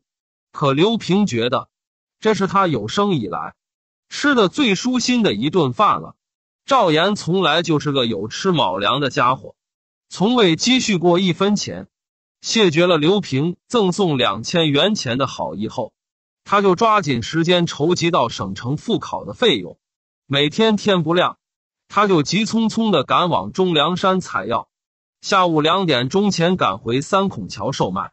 尽管急需用钱，可要价一点未加，依然是人家给点钱他就收点钱，人家不给他也不索要。在学校读书的时候，赵岩的成绩挺冒尖，这些年也积累了不少实践经验。可书本上讲的那些早已模糊了。那份两百多页的复习资料上罗列的，不少是赵岩大学时代未接触过的新知识、新理论。原本对考试信心十足的赵岩，顿时泄了气。刘平得知后鼓励他说：“凭他的聪明和勤奋，以及这么多年的经验，相信他能过关的。”还说他已经为他办好了参考的所有手续。预定好了到省城的汽车票，不去复考，那就太对不起人了。赵岩被刘平的真诚感动了，在电话里忘情的说：“平儿，我一定会去考试，而且争取一次过关。”刘平说：“那就好。”当复考的费用筹集的差不多了时，赵岩就把自己关在房里，没日没夜的啃复习资料。王九冠得知缘由后。意味深长的说：“赵老弟，你龟儿这个犟拐拐，平时不管谁的话你都听不进，对你这个女同学的话，你就当最高指示执行力。离考试还有两天了。赵岩到理发店理了发，刮了那一把络腮胡，又找何超借了件半新的夹克衫穿上，动身离开文兴镇。到了县城，他去找刘平拿预定的车票。刘平见他那一身行头，嗔怪着说：“你这夹克衫就垮垮的，不好。”说罢，取出一套深色的西装，一件白衬衣，一条红领带来，要赵岩换上。还说到了省城就是要精神一点。赵岩窘得一时手脚无措。刘平知道赵岩从不接受别人的施舍，想了想，笑着说：“这衣服不是我送你的，以后你要把钱给我。”赵岩这才红着脸接受了。赵岩按时赶到省城，进了考场。试卷发下来后，他见上面大多数是填空、判断之类的纯理论题，只有一道关于医学伦理的主观题和一道模拟临床辩证的问答题。对后者，他信心十足的答完了，可前者却让他为了难。其实这些题在复习资料上都找得到答案，可得到资料的时间实在太短了，赵岩根本没法消化资料。故好多题都答不上。半个月后，省卫生厅公布了考试成绩，赵岩只得了四十八分。为此，他沮丧不已。考试不过关，拿不到证书，这辈子就不可能理直气壮的穿上白大褂治病救人了。他气馁的一连几天都不说一句话。王九冠见状，嗔怪的说：“怄求的个气啊！这么多年你没有那个证书。”还不是一样的卖药行医，还治好了何超的非典力。赵岩一本正经的说：“那不一样呢，那是非法的。”刘平说。王九冠打断他的话说：“又说那个刘平了，赵老弟，我提醒你，人家可是有夫之妇，少跟他钩子麻糖的扯不清哟。”赵岩被王九冠的话呛得目瞪口呆。是的，邂逅刘平后。赵岩心中曾一度波澜翻滚，被往事折磨的夜不能寐。哥哥出事后，如果不是自己一时冲动出手推了建筑老板，那么自己的人生将是另一道轨迹，那该多美好啊！然而一切的一切都成了不可更改的历史。他明白，他和刘平之间已经有了一道不可逾越的鸿沟。但却对刘平的影子始终挥之不去。见赵岩不说话，王九冠接着说：“俗话说，当官的是当官的，搬砖的是搬砖的。这辈子你就认命吧。”王九冠的话激起了赵岩不服输的倔劲。稍事沉默，他抬起头来，一字一句的对王九冠说：“王哥，谢谢你的好意，我会处理好和刘平的关系的。”这次我上省城考证没考好，是因为准备不充分。不过我听省卫生厅的领导说过，明年秋季还会举行一次这样的考试。我相信我终究会成为一个合法的医生的。赵岩很快从失败的阴影中走了出来，他比任何时候都更加勤奋的采药卖药了。终于，赵岩攒够了所需的钱，他按照计划买来教材后。把自己关在房里，没日没夜的啃了起来。为了不使赵岩受干扰，王九冠主动对赵岩说：“他有个亲戚家在中梁山头道岩住，那儿清静，在那里学习比在王家院子好。”赵岩采纳了他的意见，到那个亲戚的家租了间厢房住了下来。头道岩这地方虽然清静，可地处高海拔地区，冬天寒风怒号。大雪纷飞，冷的人直打哆嗦；夏天蚊子肆虐，叮的人痒痛难忍，并且山上缺水，半个月都洗不上一次澡。可赵岩将这些困难置之度外，不分寒暑的每天早上六点起床，晚上十点熄灯，一个心思的钻进书本。赵岩就如此拼命的学习着，到他自觉对书本上的东西的掌握。已有师成火候的时候，已是次年的九月初了。此时这身高一米八几的大汉，体重竟不足一百二十斤了。他辞别了房东，带着行李下了山，回到王家院子。王九冠一见赵岩的模样，便惊乍乍的叫了起来：“赵老弟，你娃郎哥瘦的皮包骨头了。”赵岩淡淡一笑，调侃着说：“杀敌三千，自损八百嘛，不付出点代价，如何学得到知识呢？”稍请王九冠说：“大约半个月前，刘平来找过你呢。”赵岩忙问：“他找我有啥子事？”王九冠看了赵岩一眼，阴阳怪气的说：“你们之间的事，我狼哥晓得呢。”王九冠讨厌赵岩这个当官儿的同学，更怕这个有夫之妇旧情复燃，同赵岩做出伤风败俗的事来，故而对刘平的到来非常冷淡。赵岩知道刘平来找他，肯定是有正事的，且久不相见，心中很是想念。次日。便穿上刘平为他选购的那套西装，要去县城。王九冠见他的模样，半带讥讽的说：“哟，你龟儿穿的这么周吴郑王的，莫非是去当新郎官吗？”赵岩赶到县卫生局时，正逢刘平从县政府开会回来，长时间没有消息的赵岩突然出现，让刘平又惊又喜。他爱怜的望着他说：“你瘦多了。”临别时，他拿出一部手机递给赵岩，说：“给你部手机，免得到时不好找你。”赵岩红着脸说：“可我今天忘了带钱。”刘平调侃着说：“下次见面时记着带吧。”考试的日子来到了，赵岩准时到省城复考，之后回到王家院子，他按常态一面采药卖药，为人调理伤痛，一面耐心的等待着消息。两个星期后的一天下午，陈院长满面春风的到了王家院子，一见赵岩就说：“老赵祝贺你啊！”说着便举起带来的那包卤鸭肉和一瓶诗仙太白酒。赵岩正在用药棉花擦拭银针，王九冠腰痛，他要给他扎针。不等赵岩回话，陈院长又说：“省卫生厅已在网上。”公布了这次医师药师资格考试的成绩，在中医临床专业中，你考了一百分，全省第一名。对于前不久的考试，赵岩是胸有成竹的。故而听了陈院长报喜后，只淡淡的哦了一声，埋下头欲往王九冠身上的穴位上扎针。对赵岩不冷不热的态度，陈院长似见惯不惊，自顾拧开酒瓶。摊开卤鸭肉，说：“咱们来庆贺一番吧。”赵岩见状，放下银针，调侃的说：“自古烟酒不分家，既然陈院长有这番美意，我也不能辜负。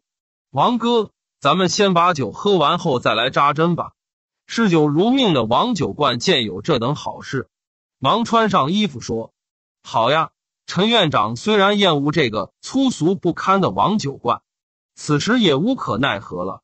酒酣耳热之际，陈院长不无讨好的对赵岩说：“老赵啊，我已向县卫生局交了报告，等你的医师资格证书一发下来，就聘请你到镇卫生院工作。”赵岩却说：“如果我不愿意呢？”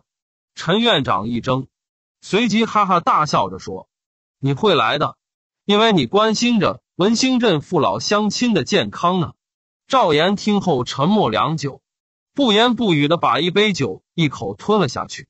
一个月后，赵岩领到了红灿灿的证书，他的高兴自不必说。王九冠、何超、李老大等一班兄弟也兴高采烈。何超邀约了矿上十几名平时常麻烦赵岩的矿工，王九冠串联起邻近的六七家村民，凑钱要为赵岩庆贺一番。赵岩也不推辞，说：“就热闹热闹吧。”在王家院子摆了好几桌酒席，大家猜拳行令，尽情的吃喝，直闹到半夜方休。获得证书的赵岩，原打算回老家所在地的医疗机构执业的，衣锦还乡嘛，他可以在乡邻们面前一起劳改释放犯的耻辱了。王九冠也支持他的想法，可和超等一般矿工弟兄，却劝他就在文兴镇，你那老家一个至亲都没有了，你又出来漂泊了这么多年，回去还有啥意思呢？这时，刘平打电话叫他去县城一趟，赵岩去了，一见面，刘平就开门见山的说：“文兴镇卫生院的院长早已向县局写了报告。”要求聘你到该卫生院工作，你愿意吗？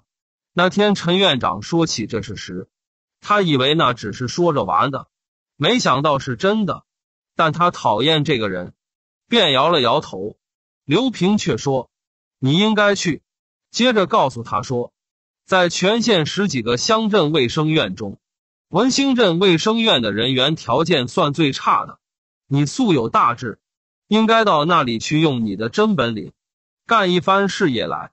赵岩还在犹豫。刘平说：“陈院长这人是不怎么地道，可你又不是为他干事。”见刘平说的这么诚恳，赵岩终于点了头。见赵岩要去镇卫生院工作，王九冠劝阻说：“卫生院那几爷子，从院长到挂号的都只认得到钱，没得一个好东西。”好人去了都要学坏的。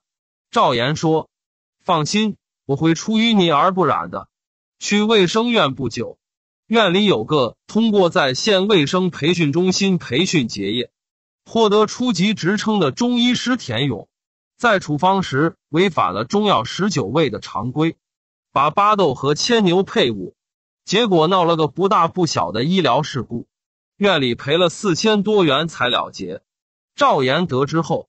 给田勇耐心的讲些中医基本理论和用药常识，田勇十分感激，请他喝了一次酒，他们从此成了好朋友。田勇不时来请教，赵岩也一一讲解。后来不少同事也来向赵岩请教，赵岩趁机向陈院长提议，由他给院里的中医师们进行业务培训。陈院长高兴的说：“好呀。”这是件大好事啊！于是便决定每周末安排半天时间进行。赵岩认真的备了课，深入浅出、循循善诱的讲解。院里的医师们对他渊博的医学理论知识十分佩服，对他也更加尊敬了。可陈院长对此却警觉起来。这个周末，赵岩照例要给大家讲课，可陈院长却对他说：“据其医药公司。”要授给院里一批中药材，咱俩去检查一下质量。赵岩说：“下午不是要上培训课吗？”陈院长说：“百年大计，质量第一。没有高质量的药材，就很难保证高质量的疗效嘛。”半强制的把赵岩拉走了。到了下个礼拜的周末，陈院长却要组织职工政治学习。赵岩问：“业务培训怎么办呢？”陈院长说：“业务学习固然重要，政治学习更不能耽误。月末时，龚副局长要来检查呢。到了第三个周末，陈院长又找出了不让培训的理由。赵岩明白了，陈院长在阻挠培训，龟儿子的伪君子。赵岩在心里骂道：‘就这样，赵岩组织的培训夭折了。’然而田勇等人。”依然不时找赵岩问这问那的，见大家依然以赵岩为中心，失落的陈院长恨得牙痒痒的。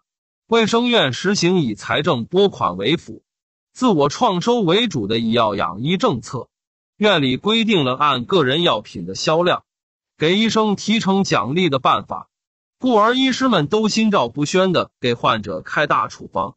可赵岩在辩证施治的理论指导下对症下药。从不开大处方，这既收到了较好的疗效，又减轻了患者的负担，患者们都乐于找他诊治。尽管他开的每张处方的提成很少，但因找他诊治的人多，故而总的提成额依然居全院之首。这就引起一些同事的妒忌。陈院长的老婆谢宗弼是院里的炊事员，同护士小谢是堂姊妹。一次聊天。谢宗弼便按照陈院长的授意，把赵岩同刘局长的关系告诉了小谢。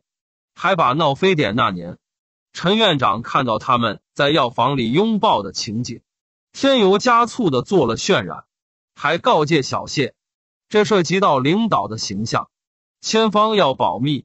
可女人对什么密都能保，就这男女关系的密保不住。不到一个礼拜，全院职工都知晓了。这由于原来是靠女人的关系进卫生院的说法，在院里沸沸扬扬。可赵岩对这些流言一概不知，只明显的感到大家慢慢的对他疏远了。半年工作考评时间到了，赵岩得了倒数第一名，为此他大惑不解。后来田勇悄悄的告诉了他缘由，他才如梦方醒，明白是陈院长在整自己。那天晚上，他彻夜不眠，想起受聘到卫生院的前前后后，觉得陈院长对自己排挤、诽谤都无所谓，但不能伤害刘平。然而事已至此，该怎么办呢？东方不亮西方亮，他决定辞去镇卫生院的工作，一走了之。第二天，他把自己在卫生院的窘况及下一步的打算告诉了王九冠。王九冠一本正经的说：“当初你就不该去，现在要走也不晚。”一天，刘平正在工作，秘书小田领进一个警察。刘平一看，那警察是丈夫的助手小周，惊问道：“小周，你怎么到这儿来了呢？”小周满脸阴云，听了刘平的问话后，竟一言不发。一种不祥的预感袭上刘平心头。他再次询问小周时，小周才结结巴巴的答道：“嫂子，邱队长他。”刘平的头皮一麻，追问道：“他怎么了？”小周顿了顿说：“邱队长受了重伤，正在省第一人民医院抢救。我是来接你去省城的。”刘平盯着小周说：“小周，请你告诉我实话。”小周答非所问的说：“嫂子，我们走吧。”刘平只得随他下了楼，上了停在大门口的警车。警车风驰电掣般的狂奔着，到了省城才下午三点多钟。进城后，汽车没有去医院，却直端端的进了省公安厅的大门。刹那间，刘平禁不住浑身一颤，知道秋风出大事了。原来，刘平的丈夫秋风到省公安厅工作后，由于工作积极。成绩突出，三年前被提升为省缉毒大队队长。几天前，通过线人得到消息说，本省柳同市有一个制造毒冰粉的地下工厂。秋风闻讯后，匆匆赶往柳同，指挥该市公安部门通过系列侦查后，发现了那个深藏在废弃煤矿的地下工厂。在捣毁该地下工厂时，遭到了犯罪分子的武装抵抗。秋风由于靠前指挥而不幸中弹牺牲，公安厅的领导要刘平节哀保重。刘平悲痛异常，抽泣着说不出一句话来。那领导问刘平有什么要求，刘平想了想说：“秋风走了，孩子才上初中，我想回省城照顾孩子。”那领导说：“这个要求是合理的。”办理完秋风的丧事后。上级部门根据刘平的工作业绩等实际情况综合考虑，将其从县卫生局局长的岗位提拔到省卫生厅办公室任副主任、县卫生局局长职务，有原副局长龚华担任。赵岩辞职后，考虑下一步的打算。王九冠说：“考虑个球呀，就像没得到这个证书以前那样，白天采药卖药。”晚上我们兄弟一起喝小酒、打麻将、斗地主，多快乐啊！赵岩摇了摇头说：“不行，那是倒退。我好不容易才获得了行医资格，是绝不会轻易放弃的。”赵岩之所以辞职，主要是为了保护刘平的名誉。只要不在他管辖的范围从业，那就什么都不怕了。为此，他决定回老家。在香场上办一家私人中医诊所，主意打定后，他在王家院子滞留了两天，同王九冠、何超、李老大等一班兄弟告了别，回到了老家。老家只有一个远房表叔，同他较为亲近，他就投宿在表叔家里。他向表叔谈了自己的打算后，表叔也很支持。于是赵岩就开始筹办中医诊所。然而在申请许可证时就卡了壳。原来文件规定，申办私人诊所者必须具有五年以上的从业资历。赵岩远远不够，他陷入惆怅。赵岩想起了当初毕业实习时带教的王教授来。王教授医术高明，为人正派，对自己也很欣赏。于是辞别表叔去了省城。到了省中医院，经打听，才知道王教授已于三个月前退休，现移民到他儿子所在的加拿大养老去了。他只得悻悻的离开医院。这天。赵岩在省政府前的广场东侧的张贴栏上浏览，企图找到对他有用的信息。然而结果却让他失望。正当他皱着眉、低着头默默离开敌当口，却不小心撞到一个急匆匆迎面而来的中年男子。他歉意的说了声对不起，那男子也大度的回应了一声没关系，急匆匆的离去。可走了几步，那男子转身追上来。陪着笑脸问道：“我怎么觉得你很面熟呢？”赵岩打量了那人一眼，也觉得好像在哪里见过他。猛地，他从那人唇边的黑痣认出，这是他当年的大学同班同学、好朋友潘峰。他惊喜的叫了声：“潘峰！”潘峰也在瞬间认出他是赵岩。两个大男人热烈的拥抱起来。寒暄过后。二人找了个就近的酒馆，点了几个菜，要了一瓶泸州老窖，边喝着边叙谈了起来。潘峰现在在静安中医院任老年科主任，他是当初全班四十八个同学中唯一在省城找到工作的幸运者。当得知赵岩现实的窘况后，潘峰说：“你怎么不找刘平帮忙呢？他现在是省卫生厅的大官，大学时你们是恋人。”知道了你的情况后，他百分之百的会帮忙的。赵岩一怔，问道：“两个月前他还在关县当卫生局长，怎么现在就到了卫生厅？”潘峰说：“你还不知道刘平现在的情况吧？”潘峰就把刘平丈夫去世的事讲了出来。赵岩听后，长长的叹了口气。此时，那瓶泸州老窖已经快见底了。潘峰醉眼朦胧的瞪了赵岩一眼，口齿不清的说：“叹叹什么气？而今他也孤身一人，你应该去去追他呀。”酒醉心明的赵岩轻轻的点了一下头。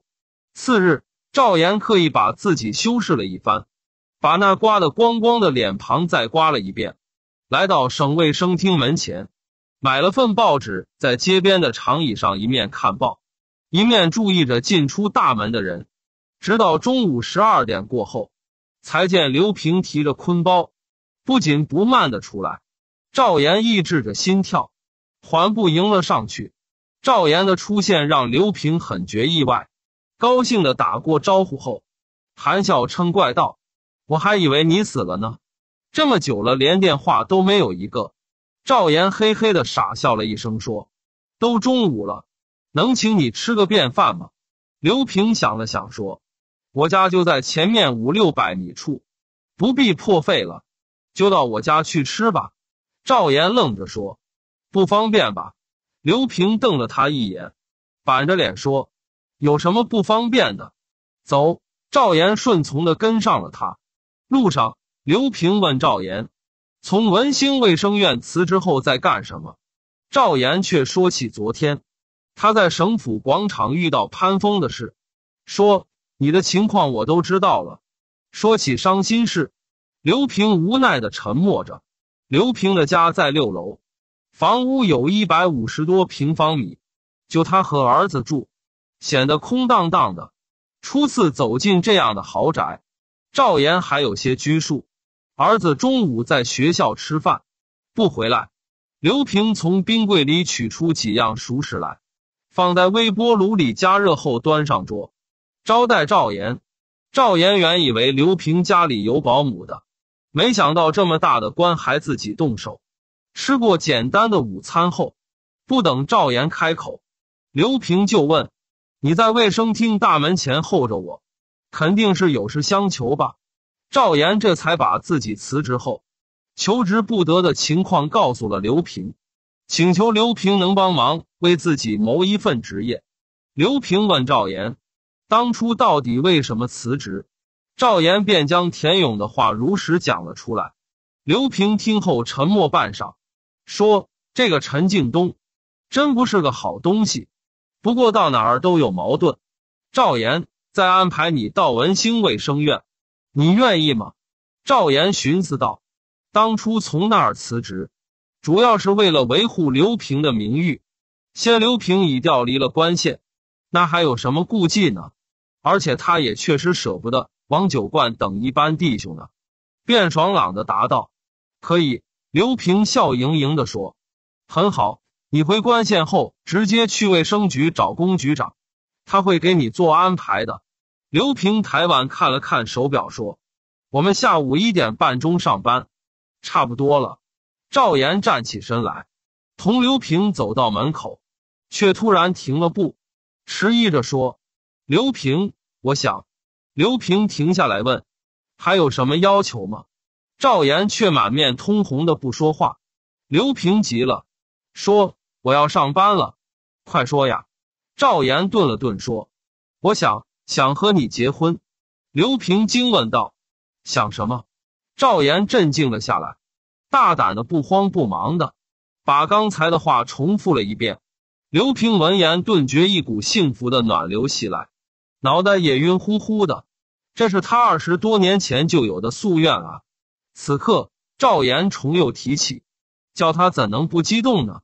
然而理智却让他在片刻间冷静了下来，望着赵岩那火辣辣的双眼，他坚定的摇着头，不冷不热的说：“我丈夫牺牲才两个来月，尸骨未寒，你就提出这样的要求，太不恰当了。”赵岩风尘仆仆的赶回了文兴镇王家院子。王九冠兴高采烈的说：“赵老弟又回来了，我就说嘛，像你这样有情有义的人，肯定是舍不得我们这帮弟兄的。”赵岩笑嘻嘻的点着头说：“是舍不得大家呀。”接着又问：“王哥，我以前住的那个房间还空着吗？”王九冠说：“空着哩。”就把赵岩领进了屋。当赵岩说回来后，仍到镇卫生院工作时，王九冠惊讶的说：“还回卫生院？你这可是三进宫了哟！”赵岩诙谐的答道：“是呀，是呀，三进宫就三进宫吧。”陈院长接到龚局长关于赵岩要回院工作的电话后，大为恼火，好不容易才把这家伙挤走，如今又要回来，拒绝接收他又不敢。没两天，赵岩就回到了卫生院，仍在辞职前的岗位上工作。赵岩的辞去归来，引起了院里的一些职工的议论。这天，药房的冉大个对来领取敷料的护士李大姐说：“朝内有人好做官，上头有人好办事。这姓赵的到卫生院工作，就像进茶馆酒馆般的，想去就去，想来就来。”李大姐说。听说他那局长情人因同他扯不清，被上级批评后调走了。冉大哥瞪大眼睛说：“嘿，你还不知道呀？调到省里当更大的官去了。”李大姐啧啧的说：“那么这姓赵的，将来不骑在陈院长的头上拉屎拉尿才怪哩。”冉大哥说：“拉屎拉尿不敢说，但以后肯定会有好戏看的。”赵岩回院后。仍像以前那样兢兢业业的工作。刘平离开关县，对偶尔从好友田勇那里听到的别人对他的非议，他也抱无所谓的态度。大不了评比时在他名字后面打叉罢了。那些爱说闲话的人说过一阵闲话后，找不到新鲜话题，便渐渐偃旗息鼓。陈院长也一时找不到对他下手的地方。赵岩回院工作后，田勇依旧不时带着些临床上的问题来请教，赵岩也一如既往的给他进行耐心的讲解。田勇受益匪浅，两人间的友情也更加深厚。这天下午下班后，田勇邀赵岩到他家去喝他自酿的葡萄酒，赵岩欣然应允。两人出了卫生院大门，见门前停了一辆装满中药材的卡车。陈院长正和药房的冉大个指挥搬运工人卸货。田勇见地上有一块杜仲，便弯腰捡起来说：“这些人也太粗心了，这么大块的杜仲掉到地上都不晓得。”说罢，转身就要送过去。赵岩说：“给我看看。”赵岩接过来后。用拇指和食指捏着，细细的摩挲着，那感觉让他一怔，便用鼻子嗅了嗅，然后再用舌头尝了尝。之后，他神色严肃的说：“小田，这杜仲是假的。”田勇惊愕的啊了一声：“我怎么一点也看不出来呢？”赵岩说：“这是用直径十厘米以上的构树皮仿冒的，仿冒者剥下构树皮后风干。”放在稠蜜汤里浸泡一夜，然后在太阳下晒干。如此浸泡晒干三次以上，冒充杜仲。在一般情况下，只凭手感和肉眼是很难识别的。田勇问：“你怎么知道这些呢？”赵岩答道：“说来也惭愧，当游医时，我曾干过这种伤天害理的事。”田勇愤愤地说：“难怪老百姓骂我们卫生院治不好病。”原来是用了假药呢！找陈院长去。陈院长就在离他们不远的地方，对他俩的对话听得半明不白的。见二人怒气冲冲的朝他走来，知道来者不善，心里就七上八下起来。赵岩压抑心中的愤慨，问陈院长：“这批药材从什么地方购进的？”陈院长正色道：“正康中药材公司。”是证照齐全的供货商，你问这个干啥？赵岩答道：“我建议把这批货退了。”陈院长质问道：“为什么？”赵岩把那块假杜仲举在手里，大声说：“有假货！”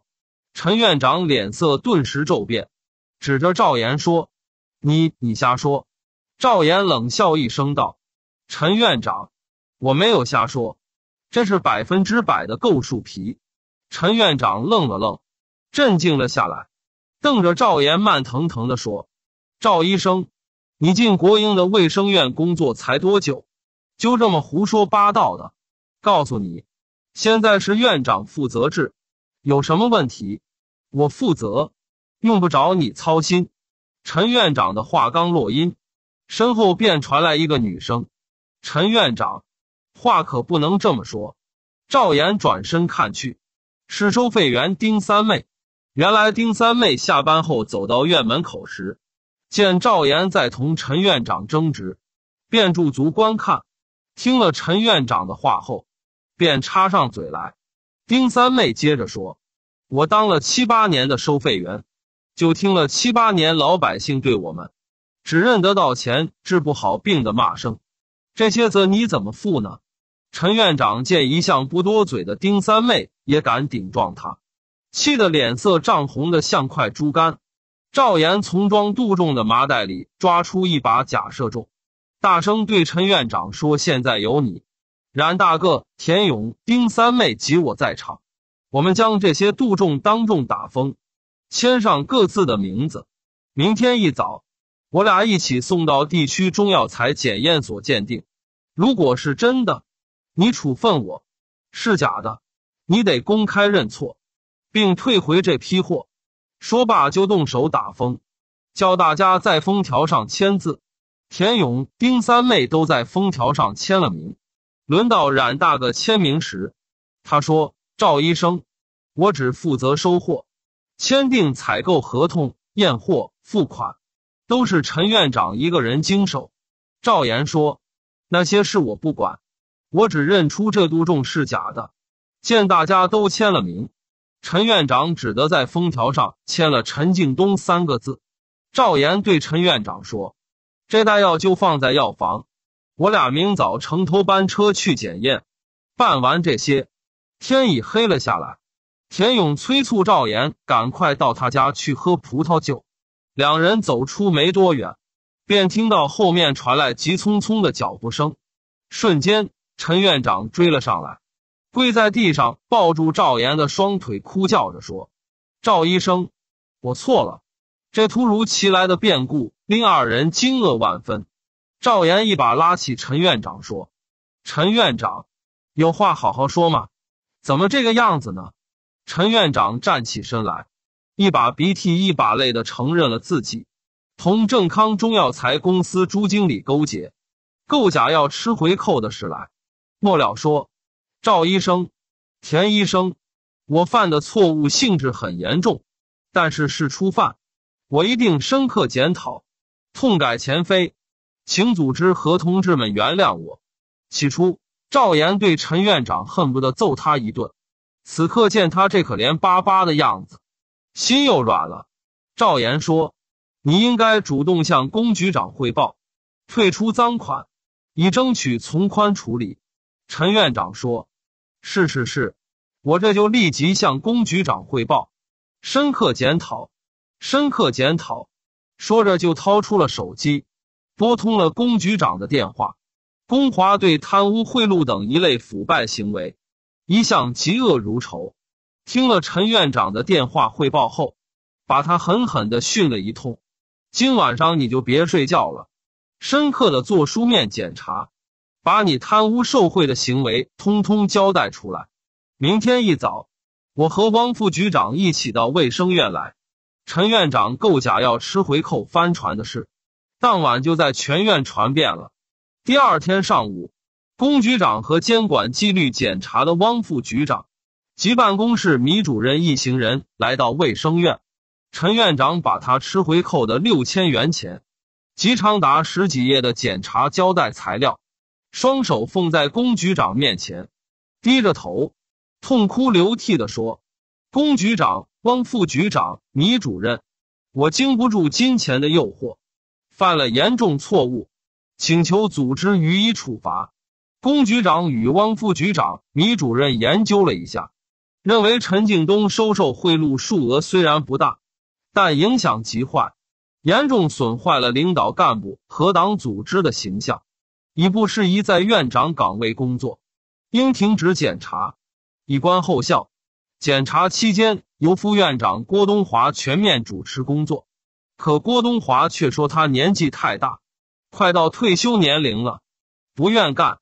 龚局长说：“现在院里找不到恰当的人选，你就把担子挑起来吧。”郭副院长想了想说。那就让赵岩给我当助理吧。龚局长说：“你们这么小个卫生院不宜设助理，不过你可以授权让他承担一些工作。”郭东华点了点头。郭副院长主持工作的第二天，就找赵岩谈话，征求他杜绝假劣中药材流入医院的办法。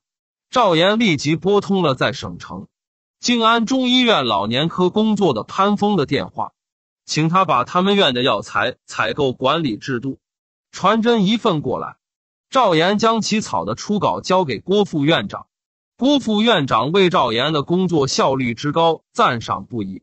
赵岩在工作中发现，院里的处方不仅书写不规范，而且有很多违反卫生部处方管理规定的地方，如无诊状用药配伍禁忌、开大处方滥用抗生素等等。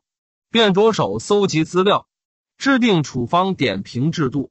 田勇知道后说：“这会得罪人的，你又不是院里的负责人，何必操这个心呢？”赵岩说：“这个现象不克服，不仅浪费医药资源，增加患者负担，还有可能出人命的。时间过得真快，一晃就到年底了。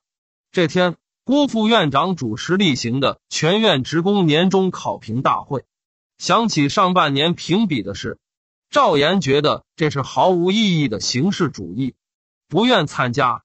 可郭副院长不同意，他只得参加了。可唱票结果却令到会者瞠目结舌，除陈敬东在审查期间不参加评比及赵岩本人外，到会的二十六人中。有二十五人投了赵岩的赞成票，这样他就稳稳的获得了全院第一名，连他自己都惊讶的问：“搞错没有啊？我还是我。”工作还是那样工作，可上半年评比时我是倒数第一，年终却得了第一名。新年放假后上班的第二天，汪副局长便代表局党组到文兴卫生院，宣布对原院长陈敬东的处理决定。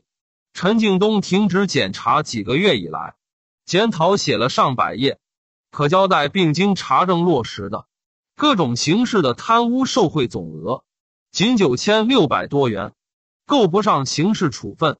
局党组根据其错误事实及认错态度。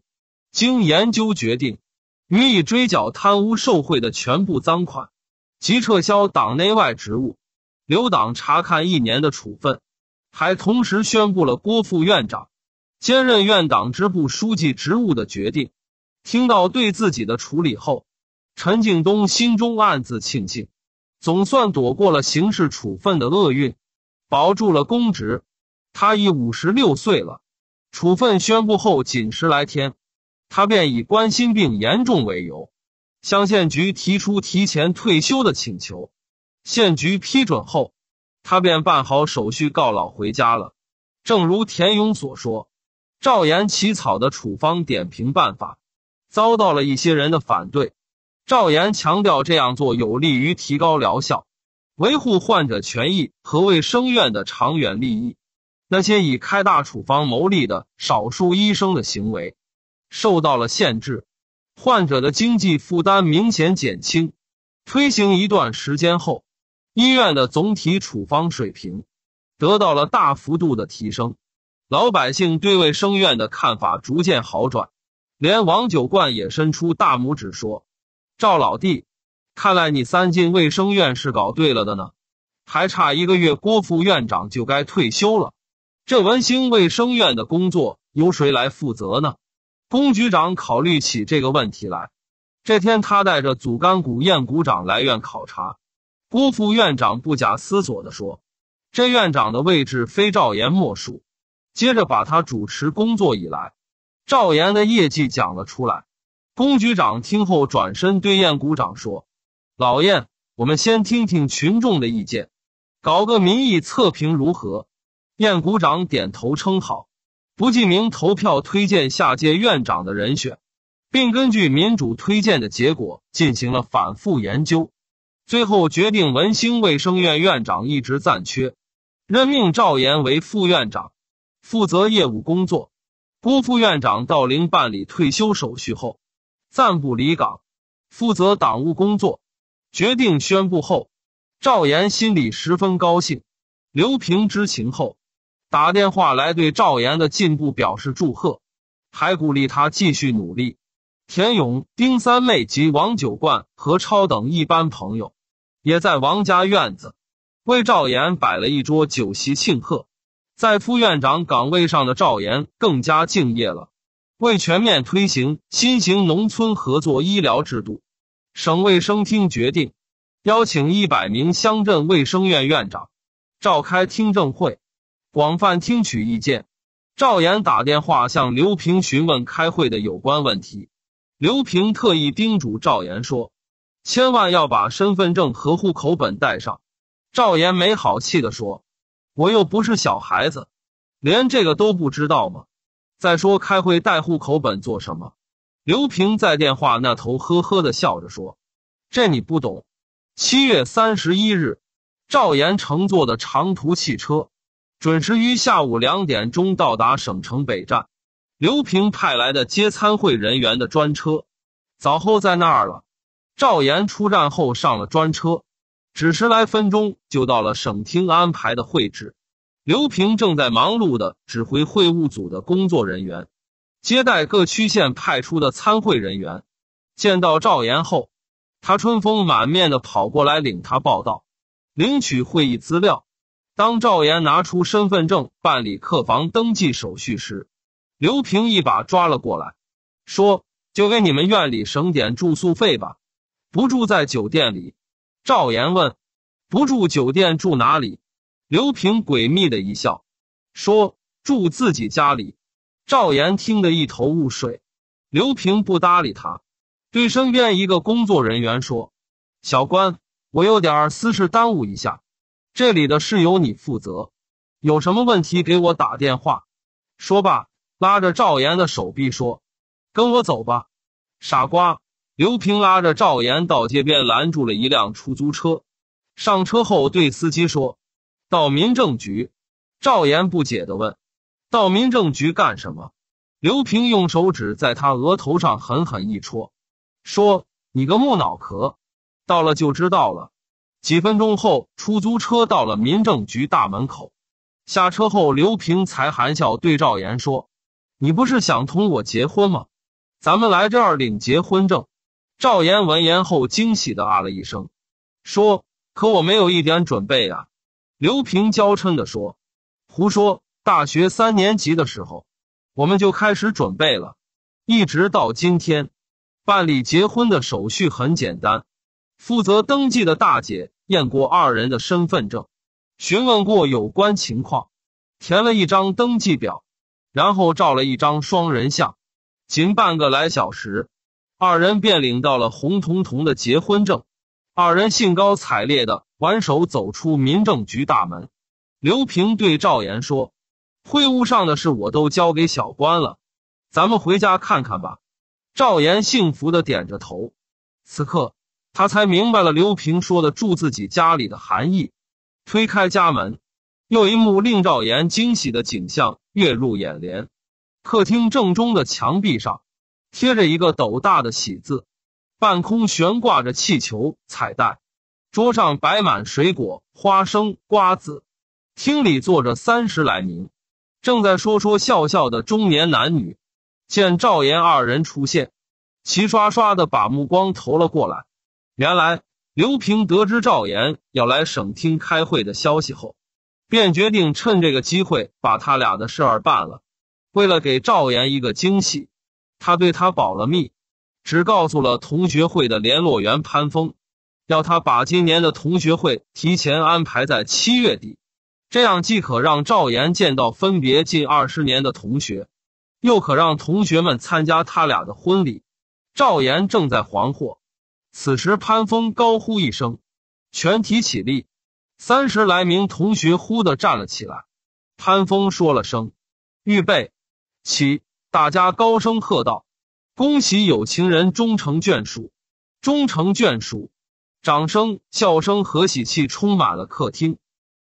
好了，今天的故事就讲到这里。喜欢的话，请给我点个赞，别忘了订阅和分享，谢谢你的支持。